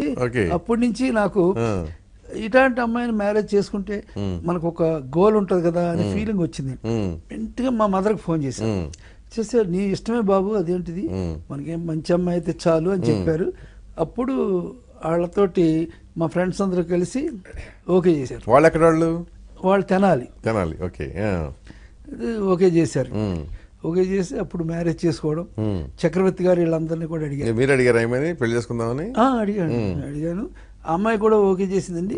అంతకుముందు వాళ్ళందరూ కూడా హీరోయిన్ అవ్వాలనుకున్నారు కదా. అవును. అనుకుంటే ఆ అమ్మాయి ఆ కెరీర్ వద్దు ఇదే మంచిది నాకు అని నా వైపు డైవర్ట్ అయిందండి అందులో చక్రవర్తి గారు త్రివిక్రమ గారు గురువు గారు వీళ్ళందరినీ కూడా మీటింగ్ పెట్టి ఇదని చెప్పాను అయితే చక్రవర్తి గారు వీళ్ళందరూ కూడా గురువు గారు అందరూ ఓకే చేసి గురువు గారు అరవింద్ గారు మన జయకృష్ణ గారు వీళ్ళందరూ పెళ్ళికి పెద్దలు. నా పెళ్ళి శుభలాగిలు ఇవ్వడం నాకు రాదండి. అంటే వాళ్ళే డిస్ట్రిబ్యూషన్ అంతా చేసి. మ్యారేజ్ చేశారు. కానీ ఇప్పటికి మాత్రం నా ఫ్రిడ్జ్లో ఆరెంజ్ మాత్రం కంప్లీట్గా ఉండాలి. అంతే. అది బాగా పడిపోయింది. సార్. అందుకని I'm enjoying it sir. I'm enjoying your career. ఇంత కెరియర్ వచ్చినందుకు ఒకసారి ఈ అమ్మాయి కానీ ఆర్టిస్ట్ అయితే నా కెరియర్ నా పిల్లలు వీళ్ళందరూ ఏంటి అనే ఫీలింగ్ వస్తుంది so I'm enjoying the married life also like this. Okay. So ఇప్పుడు మీరు చిరంజీవి తర్వాత బాలకృష్ణతో చాలా సినిమాలు తీశారు కదా మీ కాంబినేషన్లో. బ్రహ్మాండమైన ఇట్లు కూడా వచ్చినాయి కదా. మంగమ్మ గారి మనవడు లాంటిది అసలు ఇది ఎందుకు వచ్చింది? అసలు ఆవిడ భానుమతి గారు అసలు అప్పటికి మానేశారు సినిమా. అవునవును. సుహాసిని అంటే అది ఒక సంసార పక్షం. అట్లాంటి ఆవిడతోనేమో బీభత్సమైన డాన్సులు చేయించారు. అవునండి అది మిస్టరీ అది. ఎందుకంటే ముందు గోపాల్ రెడ్డి గారు ఇస్ ఎ సెన్సిటివ్ మ్యాన్. అంటే ఆయన ఏదైనా టెన్షన్ వచ్చిందంటే టాబ్లెట్ వేసుకుంటారు. ఆయన ఆయన అంత సెన్సిటివ్ ఆయన బీపీ టాబ్లెటా? బీపీ టాబ్లెట్ వేసుకుంటారు. ఫైవ్ ఫైవ్ ఎంజీ ఏదో ఉండేది నేను వద్దన్నా అయ్యేవారు కాదు ఆయన. అలాంటి ఆయన ముక్కుపడక హిట్ అయింది బాగా. ముక్కుపడక ఒక టెన్షన్. ఏంటంటే అందులో సుమన్ ఫస్ట్ హీరో తను భానుచంద్ర కింద మార్చాను నేను. అందుకని డేట్లు లేక. అది అతను పెట్టడం మీదే నాకు టెన్షన్ అయింది నాకు ఈయనతోటి. ఆడిని పెట్టు ఆడిని పెట్టు ఆడిని పెట్టు ఆడిని పెట్టు. ఎలా అది పెద్ద హిట్ అయింది. హిట్ అయి నాకు సిల్వర్ జూలీ షీల్డ్ ఇచ్చారండి. షీల్డ్ ఇచ్చినప్పుడు చెప్పాను గోపాల్ రెడ్డి గారు షీల్డ్ ఇస్తున్నారు. ఇప్పుడైనా ఒప్పుకోండి సార్. మన సినిమాలో భానుచంద్ర ఓకే అని ఆడు కాకపోతే ఇంకా ఆడేది కదా అనేవాడు. తర్వాత ఆయనతో సినిమాలు తీశారనుకోండి. దీని తర్వాత. నేను ఫ్లైట్లో వెళ్తుండగా రామకృష్ణ ఒక సినిమా చూసాను తమిళ్ళో నేను. అలాంటి సినిమా అయితే బాగుంటుందని ఆ సినిమా కథ చెప్పారండి. అయితే అమ్మో ఇది బాగుంటుందండి మనకి. మంగమ్మ గారి మనవడా? ఆ, టైపు? ఆ టైపు. ఇలాంటిది బాగుంటుందా మనకి? బాగుంటుంది నువ్వు చూడు. ఇవైతే బ్రహ్మాండంగా ఉంటుంది ఇది. అని ఆలోచించిన నైట్. అంటే నైట్ దిగి నేను అప్పుడు హైదరాబాద్ వచ్చాం. వచ్చిన నైట్ హైదరాబాద్ హోటల్లో నైట్ అది వర్క్ చేశాను మ్మ్. వచ్చేసి ఇలా అయితే వినిపిస్తా అంటే బాగుంది ఇది. ఓకే. మన బాలయ్యకి పెడదాం. అని మేము ఆ, లక్ష్మీ పిల్లస్ లింగమూర్తి గారి దగ్గరికి వెళ్ళాం మ్మ్. "ఏ సార్ ఇది సార్ వాళ్ళు అన్ని గోపాల్ రెడ్డి గారు చెప్పారు. ఎందుకు మీరు చిన్న చిన్న సినిమాలు బాగా తీశారు కదా. ముక్కుపడకయ్యి. మరి ఎందుకు పెద్ద హీరోని పెట్టుకుంటున్నారు మీరు. బాలయ్య అప్పుడు పెద్ద హీరో కాకపోయినా. పెద్ద ఫ్యామిలీ నుంచి వచ్చిన. స్టార్ కదా.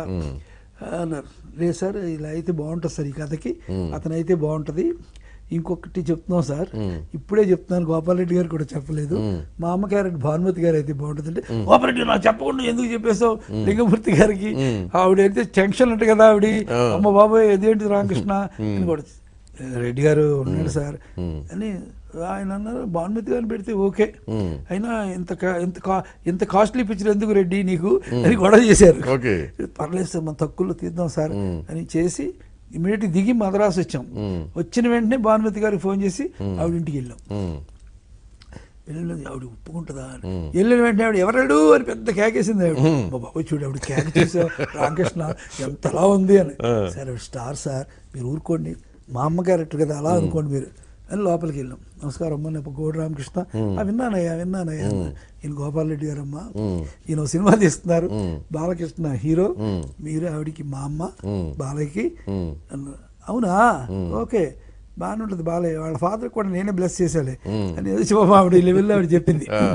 కానీ ఒకటి చెప్తున్నా అమ్మా మీరేమనుకోకండి రెడ్డి గారు ఇప్పటికీ వణుకుతున్నా అండి.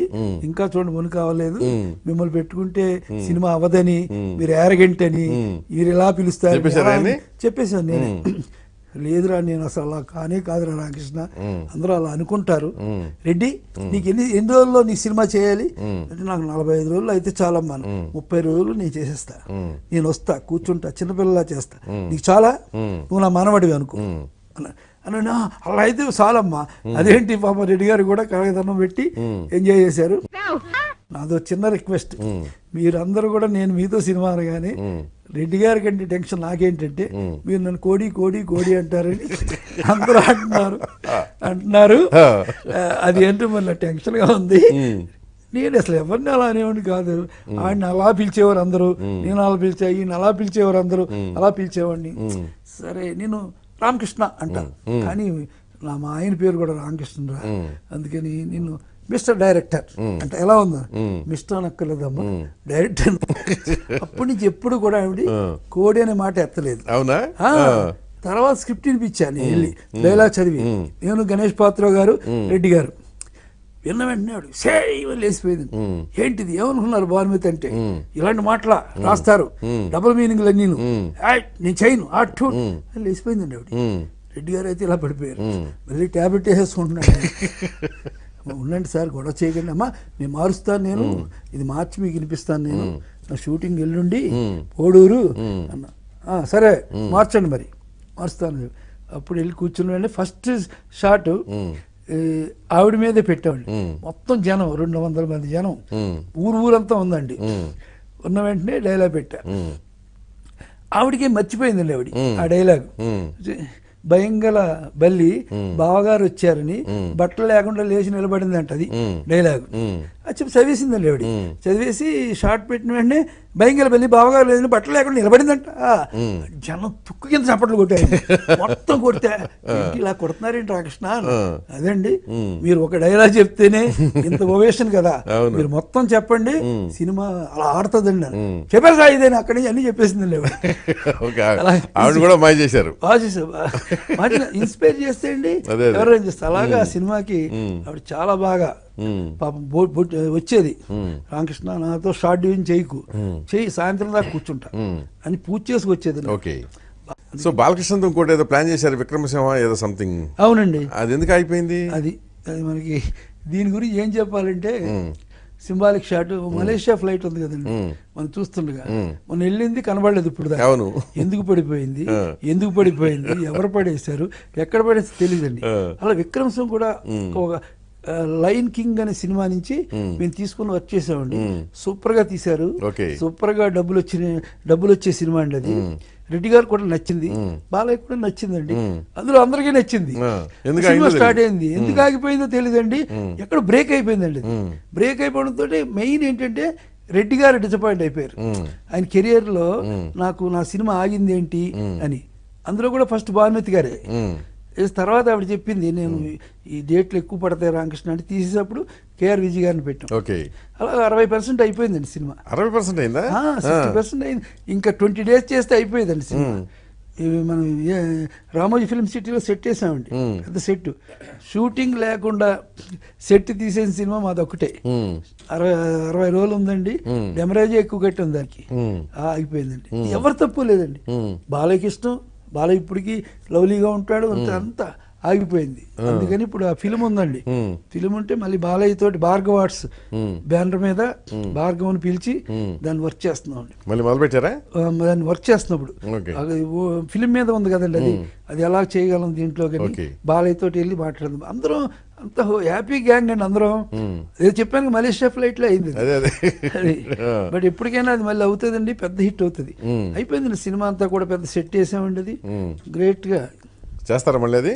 ఆ, చేస్తామండి తప్పకుండా చేస్తాం. ఇప్పుడు ఇందాక భానుమతి గారు అన్నట్టు మీరు మధ్యలో ఒక దశలో బాగా సక్సెస్ వచ్చిన తర్వాత డబుల్ మీనింగ్ డైలాగులు సినిమాలు. ఎక్కువ వచ్చినాయి కదా. అవును. కోటి రామకృష్ణ అనగానే అట్లా అట్లాంటిది ఎక్స్పెక్ట్ చేశారు జనం. ఎందుకు ఎట్లా ఎందుకు వెళ్ళిపోయారటు? అంటే డబుల్ మీనింగ్ అనేది కాదండి ఇప్పుడు కూడా. శృంగారానికి చాలా మన అన్ని అన్ని రసాల్లో శృంగారం కూడా ఒకటే. కానీ శృంగారం ఎలా ఉండాలంటే పేరెంటంలో ఉండే ఆడ ఆడవాళ్ళందరూ జోకులు వేసుకునేలా ఉండాలండి. అసహించుకునేలాగా నూరు నుదురు చిట్లించేలా ఉండకూడదు. అందుకని ఎంటర్టైన్మెంట్ జోడించి నేను ఆ మాటలు పెట్టాను. కొన్ని క్యారెక్టర్ పెట్టి ఓకే ఆ క్యారెక్టర్ పెడితే అది జోక్స్ అండి అవి.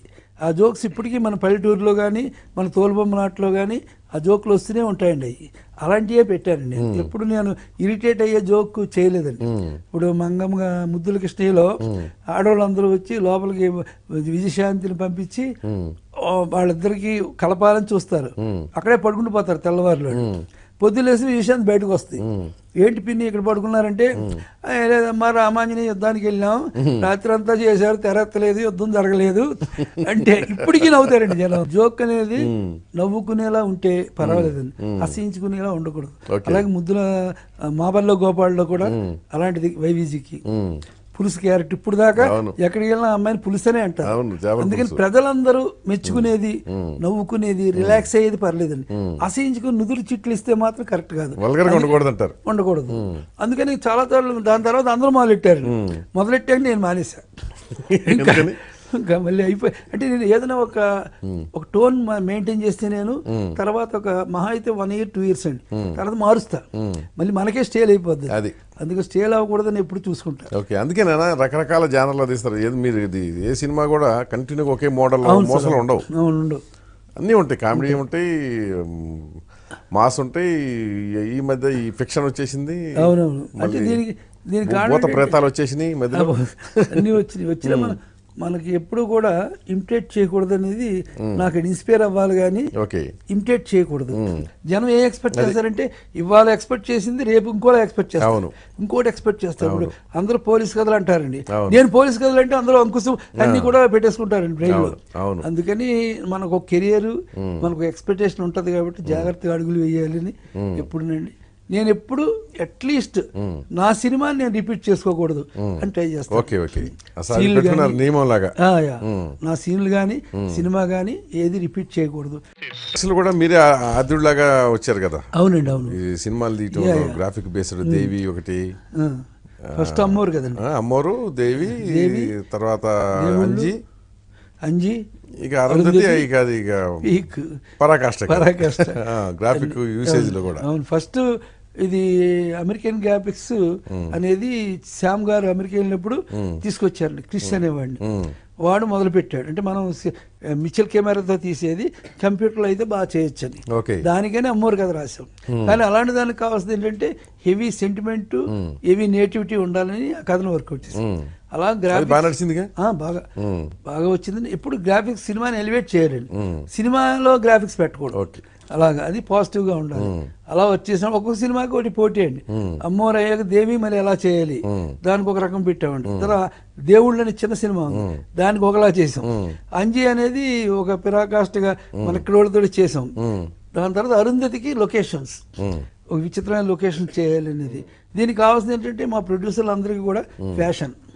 అన్ని ముందే చెప్పేస్తానండి. ఇది ఇంత అవుద్ది ఇది అవుద్ది అని. వాళ్ళకి అవగాహన ఉన్న వాళ్ళందరూ కూడా వాళ్ళు ఫాలో అవుతారు. అవగాహన నేను నేర్చుకుంటాను వస్తే అప్పటికి అంతగా ఊరు పేరు లేని హీరోయిన్ ఈవిడ అనుష్క. అట్లాగే విలన్ సోను సూద్. అతను కూడా పెద్ద పాపులర్ కాదు. అప్పటికి. వాళ్ళిద్దరిని పెట్టాలని ఎందుకు అనుకున్నారు అసలు? అసలు ఫస్ట్ వాళ్ళిద్దరు బొమ్మలు చూసామండి. చూసినది శ్యామ్ గారు వెళ్ళి అను- అనుష్క బొమ్మ తీసుకొచ్చారు. తీసుకొస్తే ఒక కాస్ట్యూమ్ ఆవిడ చేత వేయించామండి. వేయించిన తర్వాత ఆ అమ్మాయి కళ్ళు హైటు ఆ కథకి సరిపోతాయి అనేది అనిపించింది. ఓకే. అలాగే ఒక విలన్ కావాలండి. ఈ విలనే పెద్ద కాంప్లికేషన్ క్యారెక్టర్. ఎందుకంటే వాడు ఎంత క్రూయల్ విలన్ అయినా ఒక రాజవంశానికి సంబంధించిన వాడు అండి. అవును. వాడు హైటు అది అలా ఉండాలి. అవును. అందుకని నేను ఒక ఇద్దరు ముగ్గురు విలన్లు చూపించి సోన్ సూన్ కూడా చూపించా శ్యామ్కి. ఇలా ఈ ఇదంటే ఏందో అంత లే బాగాలేదే అని ఓ సినిమా చూసి డిసప్పాయింట్ అయ్యాడు తర్వాత అందులో డ్రైవర్ క్యారెక్టర్ వేశాడు కదా మనోడు అరవింద్. అతని కోసమని ఓ సినిమా చూపించా. చూపిస్తే అతను చూసి ఇతను ఎవడో పీట మీద కూర్చున్నాడే. ఈడు బాగున్నాడు కదా డైరెక్టర్ గారు అన్నాడు శ్యామ్. మరి ఈడే కదా సోన్సు. అప్పుడు అలా ఉన్నాడు ఇప్పుడు బాగున్నాడు సార్ ఈడు. పాప ఆడి క్యారెక్టర్ పోయింది. ఆ. వస్తే అప్పుడు అందుకని సోన్సు సెలెక్ట్ చేసాం అతనికి ఆ డ్రైవర్ క్యారెక్టర్ ఇచ్చాం. ఓకే. తర్వాత. అందుకని అలాగే షిండే. షిండేకి రోజు గెటప్ వేసేవాడు అండి. ముస్లిం ఇలా ఉండాలి. చాలా స్టై చేసేవాడు అతనికి. డిఫరెంట్గా ఉండాలి. నాలుగో రోజు కూడా వేసాడు గెటప్ వచ్చి. వచ్చి డైరెక్టర్ గారు. చిన్న విషయం అండి. ఏమనుకోరు కదా. మీరు మీకు ఫకీర్ కావాలి కావాలి. నన్ను ఎందుకు ఇలా చేస్తున్నారు? ఫకీర్లా యాక్ట్ చేస్తారు సార్. మీకు ఎందుకు? అని యాక్ట్ చేసి చూపించాడు. అలాగా ఆ క్యారెక్టర్ మూడు క్యారెక్టర్ల మధ్య వెళ్తుంది కథ. మూడు క్యారెక్టర్లు మంచి అందరూ. అందరికీ కష్టమేనండి. ఎవరు డిస్కరేజ్ చేయలేదా? వీళ్ళని పెట్టుకున్నందుకు అనుష్కని హీరోయిన్గా పెట్టుకున్నందుకు? అప్పట్లో డిస్కస్ చేస్తారు కదండి. ఎందుకంటే శ్యామ్ మీద అభిమానంతో. అదే. దెబ్బతింటాడు అంత ముందు సినిమా దెబ్బతిని ఉన్నాడు కదా కాబట్టి అని చేసేవారు. కానీ ఫైట్ చేసి మేము ఎందుకంటే ఆ అమ్మాయి మీద నమ్మకం ఆ పర్సనాలిటీ మీద. ఆ పర్సనాలిటీ బాగుంటుంది కథకి. ఆ కథకి అని కానీ అమ్మాయి కూడా మేము చెప్పాం. మీకు ఇది కెరియర్ మీ కెరియర్ కాదు మా కెరియర్. ప్రిస్టేజ్. అంటే అప్పటి నుంచి ఆవిడ ఫోర్ అవర్స్ పడుతుందండి మేకప్. మార్నింగ్ ఫైవ్కి వచ్చిందంటే వచ్చినప్పటి నుంచి కత్తి పట్టుకుంటది. కత్తి పట్టుకుని తిరుగుతుంటది అక్కడ సెట్లో కూడా. అవునా? చాలా సార్లు అన్కాన్షియస్ అయిపోయింది ఆ అమ్మాయి. ఆ ఎమోషన్ పెద్ద పెద్దగా అరిచి. అంటే అమ్మాయికి వాయిస్ మీద కొంచెం అపనమ్మకం తన మీద. అన్న నువ్వు నువ్వేం కంగారు పడు నేను అరుస్తుంటా నీ పక్కన నాతో పాటు అరు. నీకు అసలు వాయిస్ గురించి పెట్టుకోకు. అని చేస్తే అలా చాలా సార్లు అన్కాన్షియస్ అయిపోయింది? భయపడిపోయాం మేము. ఏమైపోద్ది అంటే అలా ఇన్వాల్వ్మెంట్ అండి. అలా. సోన్సూకి పొద్దున్న ఆరింటికి మేకప్ వేసామంటే రెండింటికి అవుతుంది అతనికి. రెండింటికి పడుకోబెడతాం. పడుకోబెడి ఒక లస్టర్ పెడతాం అతని మీద. నోట్లో ఏమో గాజు పెంకి పెడతాం. అదే సాయంత్రం దాకా. అలాగే ఉండాలి. అలాగే చేశాడు అలాగా అందరూ కూడా కష్టపడ్డారండి. ఎవరు కూడా అందరికీ ఒక పట్టుదల ఉండేదండి. ఏంటంటే ఈ సినిమా పెద్ద హిట్ అవుతుంది. ఈ సినిమా సూపర్గా ఉంటది అనేది అందరిలోనూ ఉండేది ఎవరు అరుంధతి తోటి మీ మీద ఆ రకమైన గ్రాఫిక్ బేస్డ్ సినిమాల ఎక్స్పెక్టేషన్ విపరీతంగా పెరిగి ఉంటుంది కదా. ఇప్పుడు నాగాభరణం కన్నడలో చేశారు కదా. కన్నడ అండి ఎందుకని కన్నడలో మళ్ళీ తెలుగు వదిలేసి కన్నడకి వెళ్ళారు మీరు మధ్యలో? అది మా ప్రొ అక్కడ ఏంటి జయంతిలాల్ గాల గారని హా. ఆ, బొంబాయి ఆయన. ఆ ప్రొడ్యూసర్కి ఐశ్వర్యరాయ్ గారితో సినిమా తీయాలని ఆయన ప్లాన్ ఇప్పటికీ ఉందనుకోండి. దానికి కథ చెప్పాలని వెళ్ళా. దానికి అక్కడ ఈయన ఫ్రెండ్ సాజిత్ అనే ఆయన ఆయనకి ఫ్రెండ్. ఓకే. అప్పుడు ఆ కథలు చెప్పడంలో నేను ఈ నాగాభరణం కథ కూడా ఒకసారి అన్నా. అన్న వెంటనే సాజిత్ గారికి అది నచ్చింది. నచ్చి తర్వాత ఇంటికి వెళ్ళాక ఆయన నా దగ్గరికి వచ్చారు. ఏమండి జయంతిరావు గారు ఇంకో నాలుగు సినిమాలు ఉన్నాయి. ఆయన చేస్తుంటారు.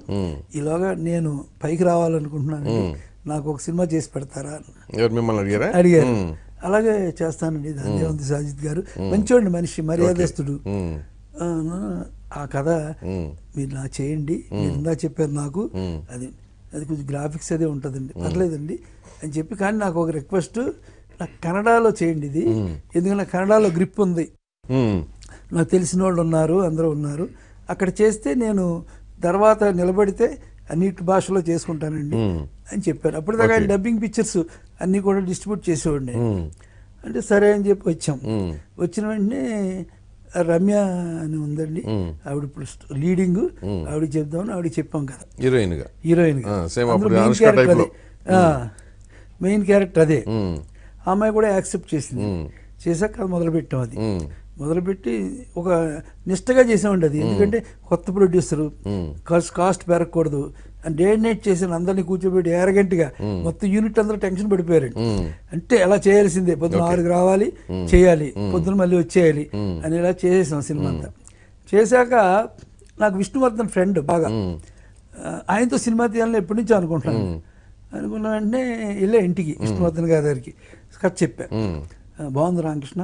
చేద్దాం మనం. టూ మంత్స్లో డేట్స్ ఇస్తా అన్నారు. అవును సార్ రెడీ అయితే నేను రెడీ చేసుకుంటున్నా. ఇదే నేను తెలుగులో కూడా తీస్తాను సార్. అన్న చెయ్యి నువ్వు సినిమాది? అది వేరే కథ. అది వేరే కదా అది. అన్న వెంటనే సరే అని చెప్పితే నేను ఆయన ఓకే చేసి నేను బ్యాంకాక్ వెళ్ళా షూటింగ్కి వెళ్ళి వచ్చేలా చనిపోయారు ఆయన. టీవీలో కూడా రాలేదండి అది నాకు. ఆ. ఆయన ఓవేషన్ అంతా వచ్చేసింది డిసప్పాయింట్. అది ఈ కథ అంతా అయి- అయింది కదా. ఈ కథలో ఆఖరి స్నేక్ అనేది ఎమోషనల్ క్యారెక్టర్ అది ఆఖరిని డిసప్పాయింట్ అవుద్ది ఇంకో స్నేక్తో మ్మ్. బిహేవియర్ పోద్ది. అప్పుడు శివుడు వచ్చి దానికి కొత్త పవర్ ఇస్తాడు. ఇస్తే ఒక క్యారెక్టర్ రావాలనేది నా కథ. అప్పుడు షాజిత్ గారు నన్ను పిలిచారు. ఏమండి మీకు విష్ణువర్ధన్ అంటే చాలా స్నేహితులు ఆయనతో సినిమా తీయాలనుకుంటున్నారు కదా. ఆ లాస్ట్లో క్లైమాక్స్లో క్యారెక్టర్ వస్తుందని చెప్పారు కదా మీరు. విష్ణువర్ధన్ పెడదామండి అన్నారు. నాకు ఎందుకో ఈయన నన్ను ఏలకులం చేస్తున్నారు. ఏ సరే? నేను ఏలకులం చేయట్లేదండి. నేను మకుట అనే వాళ్ళతో పెడుతున్నాను గ్రాఫిక్స్ వాళ్ళతో మాట్లాడాను. వాడికి ఒక కొత్త టెక్నిక్ వచ్చిందంట. ఓకే. మనిషిని యాజ్గా ప్రజెంట్ చేస్తారంట. అందుకని విష్ణువర్ధనే వస్తే ప్రజెంట్ చేస్తే కన్నడలో బాగుంటది వెరైటీగా ఉంటది. తీసుకొస్తున్నారు. తీసుకొస్తున్నాం. అందులోకి మీకు కూడా ఆయనతో చేయాలని. ఒక అంబిషన్ ఉంది కదా? ఆ కోరిక తీరుతుంది. తీర్థన అంటే ఓకే అండి దాని గురించి నాకేం బాధ లేదు. బట్ చాలా కాస్ట్లీ అవుతుంది టైం అవుతుంది. ఏదైనా సాజిత్ సినిమా తీసేది ఎందుకంటే డబ్బు కోసం కాదు సార్ అందరూ చెప్పుకోవాలి సార్. బాగా తీసాడని జయంతిలాల్ గాడా గారి దగ్గర కదా నేను. ఆయన కూడా చెప్పుకోవాలి. బొంబాయి అంతా చెప్పుకోవాలి. చేస్తాను సార్ నేను. అది నాకు వదిలేయండి మీరు. మీరు సినిమా చేయండి ఓకే. అని చెప్పి అలాగే చాలా టైం తీసుకొని విష్ణువర్ధన్ చేశారు. ఇప్పుడు సంచలనంగా కన్నడ అంతా విష్ణువర్ధనే వచ్చేసాడని ఒక ఓవేషన్ స్టార్ట్ అయిపోయింది. మీ అందరి బ్లెస్సింగ్స్ ఇలాంటి అందరి బ్లెస్సింగ్ తోటి ఆ సినిమా కూడా పెద్ద హిట్ అవ్వాలండి. ఓకే అవుతుందని కోరుకుందాం. అవ్వాలి సార్ అది. సో మీరు నటులుగా ఎందుకు కొనసాగలేకపోయారు? నటుడుగా దాసనారాయణ మీ గురువు గారు ఆయన డైరెక్షన్తో పాటు నటుడుగా కూడా కొనసాగాడు కదా. అవును. నేను మాకు పాలకొల్లో లలిత కళాంజలి అని నాకు ఒక నాటకాల కంపెనీ ఉండేది. అదే వాకాడ అప్పారావు గారు బ్యానర్. ఆ బ్యానర్లో మాత్రం చేస్తానని ఒక నియమం పెట్టుకున్నా. లేదా బయట వాళ్ళందరూ అడుగుతున్నారు. సినిమాలోనే సినిమాలోనే అండి. సినిమాలోనే ఆ బ్యానర్లోనే వేషాలు. వేస్తాను కానీ. బయట నేను నియమం పెట్టుకున్నాను లేకపోతే అందరూ అడుగుతారు కదా. అవును. కానీ ఒక డైరెక్టర్ అనేది ఇప్పుడు డైరెక్టర్ ఆర్టిస్ట్ అవ్వడం వేరండి. ఆర్టిస్ట్ డైరెక్టర్ అవ్వడం వేరండి. ఆర్టిస్ట్ డైరెక్టర్ అయితే పర్లేదండి. మేకప్ వేసుకుని డైరెక్ట్ చేయొచ్చు. ఒక డైరెక్టర్ ఆర్టిస్ట్ అయ్యాడు అనుకోండి డైరెక్షన్ చెప్పి ఇక్కడ మేకప్ వేసుకుని అందరిని చూడాలంటే. అది చాలా గురుగారు లాంటి వాళ్ళకి సాధ్యం కానీ. నాకు టెన్షన్ అనేది ఈ సీన్కి ఏం రాసుకోవాలనే చూస్తుంటాను. అలాంటప్పుడు మేకప్ వేసుకుని మనం కూర్చుంటే ఆర్టిస్టుల మంది మనం కొంచెం తక్కువ అయ్యామో అని ఫీలింగ్ వస్తుంది. అందుకని ఎక్కువ సినిమాల్లో నాకు ఏదైనా వేసే నేను ఏదో క్యారెక్టర్. చేశాను కానీ మిగిలిన ఇప్పటికీ మీరు కథలు మీరే రాసుకుంటుంటారా? అన్నిటి కథ ముందు నేను ప్యాటర్న్ ప్రొడ్యూసర్ని ఎలా ఏ టైప్ సినిమా తీయాలి మీకు అని ముందు అడుగుతాను సో మీకు కథల రచయితలతో అవసరం అవసరం లేదు అంటే నేను నాకు స్కూల్ ఉంది సార్. ఓకే.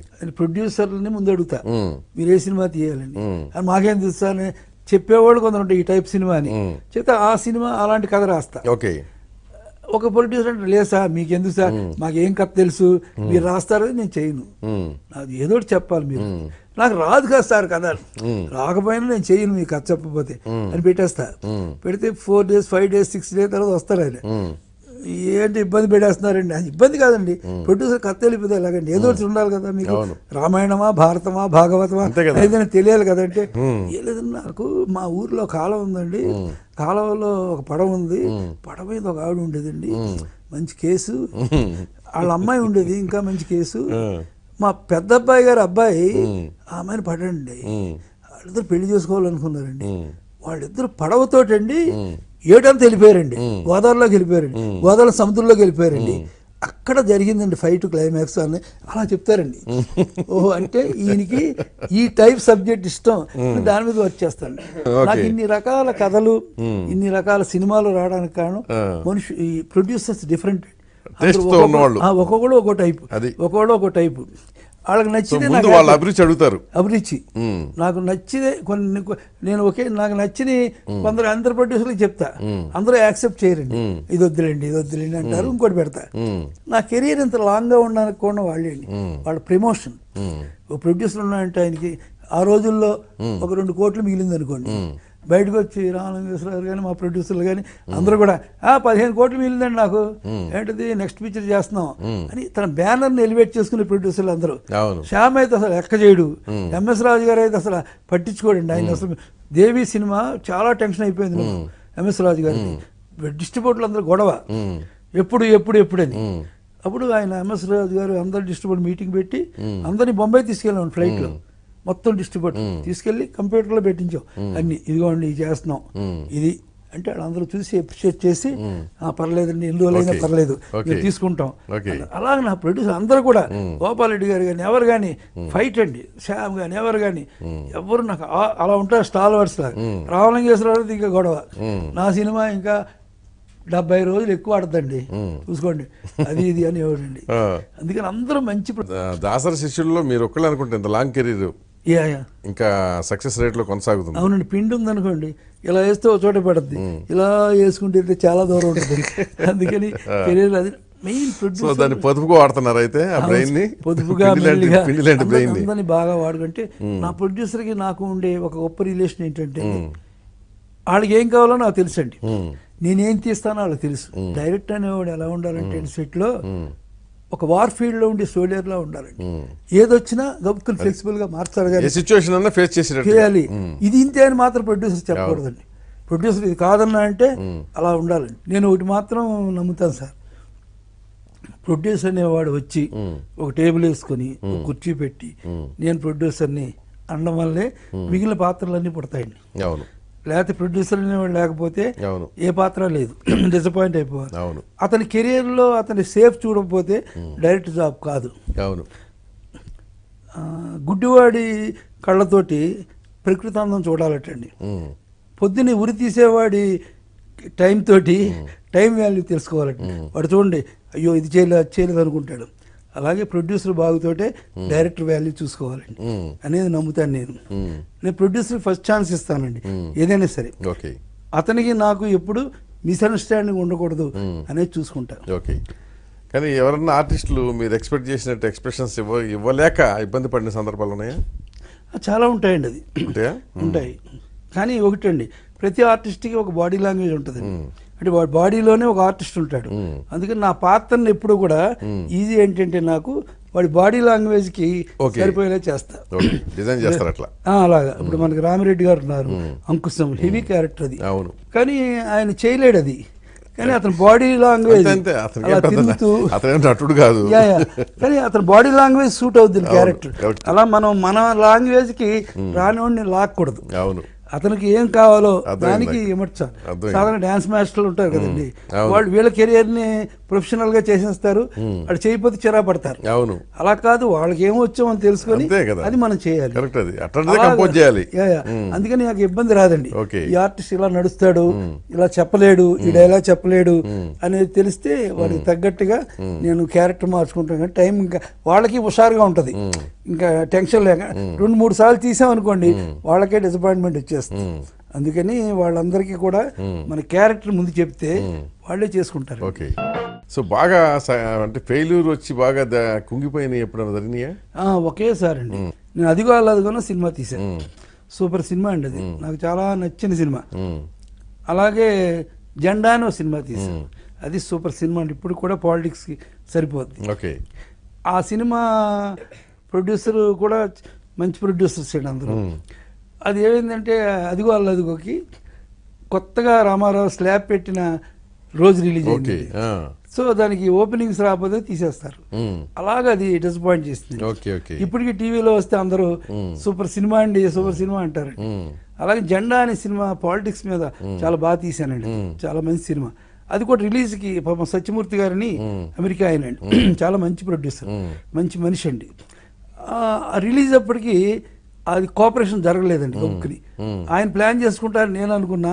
ఆయన ప్లాన్ చేసుకోవడానికి కూడా కొంత హెల్ప్ చేస్తానన్నారు రేపు రిలీజ్ చేయలే. దాంతో డిసప్పాయింట్ అయిపోయిందండి. ఓకే. అది కూడా డిసప్పాయింట్ అయిపోయింది. ఈ రెండు సినిమాలు నాకు ఎప్పుడు టెన్షన్ అండి. ఓకే. అంతా కూడా. అందుకని మళ్ళీ ఆ సినిమాలు రెండు కూడా తీయాలి అని ఒక ఎయిమ్ ఉందండి నాకు. అది దానికోసం ప్లాన్ చేస్తున్నాను అలాగే ప్రపంచ బంధన్ ఒకటి తీయబోతున్నానండి. ఓకే. అది ప్రపంచ ఇప్పుడు సినిమాల చేతిలో? మూడు అండి. ఫ్యాక్టరీ లాగా ఉంది కథల ఫ్యాక్టరీ ఒకటి సత్యసాయి బాబా తీస్తున్నాం కదండి. నెక్స్ట్ అంకుల్ ఆంజనేయ స్వామి అని ఒకటి తీస్తున్నామండి. అంకుల్ ఆంజనేయ స్వామి. ఆంజనేయ స్వామి నలుగురు చిన్నపిల్లలు. అది గవర్ ఆ, మన స్వర్గంలో పాలిటిక్స్. ఓకే. అది. అలాగే ప్రపంచ బంద్ అని ఒక పాములు పట్టేవాడు కానీ గవర్నమెంట్లోకి వస్తే వాడు ఎలాంటి మెడిసిన్ కనిపెడతాడు? ఆ మెడిసిన్ ప్రపంచం అంతా ఎలా నాశనం అయిపోతారు? చిన్నపిల్లలు దాన్ని కనిపెడితే కుర్రోళ్ళు వాళ్ళని ఎలాగ యాక్సెప్ట్ చేయరు? అనే దాని మీద తీస్తున్నామండి అది. సో ఇంకేమేమి ఉన్నాయి మీకు ప్లాన్స్? ప్రస్తుతానికి ఇది మూడు మూడు చేస్తున్నామండి. దీని తర్వాత ఒక గ్రాఫిక్స్లోనే ఒక సినిమా తీస్తున్నామండి. అది అదేంటంటే కోడి కోడి పిల్లలు కోడి పుంజు ఇది ఒక ఫ్యామిలీ వీళ్ళందరూ చిన్న చిన్న పిల్లలు అందరూ ఉంటారండి. చిన్న చిన్న పిల్లలతోటి కోడి వారు వచ్చినప్పుడు. కోడి పందాలు తీసుకెళ్తారు కదండి. తీసుకెళ్ళినప్పుడు ఈ- ఫ్యామిలీ ఎలా డిసప్పాయింట్ అవుతుంది. ఎలా బాధపడుతుంది. కానీ ఆ వాండర్ మాత్రం మేపుతూనే ఉంటాయండి. తీసుకెళ్ళారు. మీ గోదావరి జిల్లాలో యా ఆ కోడి పందాలు వదిలినప్పుడు పిల్లలు. ఈ కోడి పెట్ట. ఎలా చూస్తుంటాయి. వీటి ముందే. ఆ కోడి పీకి తెగిపోయి చచ్చిపోతే ఎలా ఉంటాయి? ఫీలింగ్ బాధ. అని ఈ తల్లి పిల్లలు ఎవరైతే ఇలా చేశారో అతని మీద ఎలా వెంజన్స్ తీర్చుకున్నారు అనేది మ్మ్. ఇలాంటప్పుడు ఒక పిల్ల మిస్ అయిపోద్ది చచ్చిపోయిందని. వదిలేస్తే అది ఆఖరికి వెళ్ళిపోయి ఆ పెట్టె వెళ్తుండగా అన్ని కూర్చొని చూస్తుంటాయి. ఆ కోడి పుంజులన్నీ కూడా జనం మీద తిరగబడతాయి. జనం పరిగెడుతుంటారు. సో మీ కోడి పందాల మీద కోపం ఉంది అయితే? Yeah, yeah.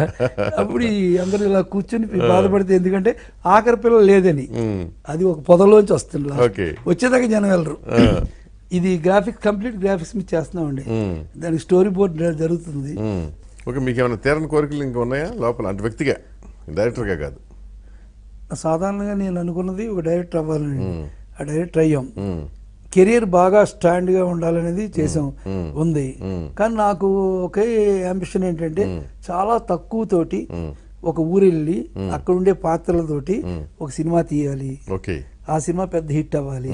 ఇలాంటి సినిమాలు తీయొచ్చని అందరూ అనుకోవాలి అనే కథ కోసం ఆలోచిస్తున్నాను. ఓకే. అది తక్కువ బడ్జెట్తో తక్కువ బడ్జెట్తో ఒక విలేజ్ కెమెరా మా యూనిట్ వెళ్ళిపోయి అక్కడ మనుషులతోటి తీసి న్యాచురల్గా. యా న్యాచురల్గా. అనే సినిమా ప్లాన్ చేస్తున్నాను. సో అది మీ కోరిక. అంతే. నాకు ఇంకో పనే లేదండి. సినిమా సినిమా ఎందుకంటే నాకు అందరూ అంటారండి ఎలా చేస్తారండి మీరు డే అండ్ నైట్? ఎలా రెస్ట్ లేకుండా? అంటారండి. నేను పొద్దు పాలగొల్లో నాటకాలు వేసేటప్పుడు రాత్రి అంతా నాటకాలు వేసి పొద్దున ఇంటికి వెళ్తే ఫాదర్ మదర్ తిట్టేవారు. అలా మా నాటకాలు పెడితే తిట్టేవారు. కానీ ఇప్పుడు అది మా ప్రొఫెషన్ అయిపోయింది నాకు. సో అది అందరూ ఎంజాయ్ చేస్తారు ఫ్యామిలీకి టైం కేటాయిస్తున్నారా? ఇస్తాను వస్తాను. ఇంటికి వెళ్ళేటప్పుడు ఉంటారు మా దీపు మా చిన్ని. మా ఇద్దరా పద్మ. పిల్లలు? ఆ, ఇద్దరు పాపలండి. దీపు చిన్ని మా వైఫ్. వాళ్ళకి చెప్తా నా సినిమాలు చూపిస్తా. నా సినిమా చూపించిన వెంటనే వాడు ఇప్పుడు దాకా ఈ మొత్తంలో నా సినిమాలు నచ్చని వాళ్ళు ఎవరు ఉన్నారంటే మా ఫ్యామిలీయే. అంతేనా? అంతే. ఇద్దరు మా ఇద్దరు పిల్లలకి దీపుకి కానీ చిన్నికి కానీ మా ఆవిడ మొహమాటంగా ఉంటుంది కానీ "ఆ, చాలే ఇంకా? డాడీ అది ఇది అని అంటారు. ఏంటి నా సినిమా కొంచెమైనా బాగాలేదా? "ఆ, బాగుంటుంది. ఇంకా మీరు ఇంకా అలా చెప్పుకోవాలి కదా. ఏం పెద్ద దీనికి డిసప్పాయింట్ అయిపోతున్నారు మీరు.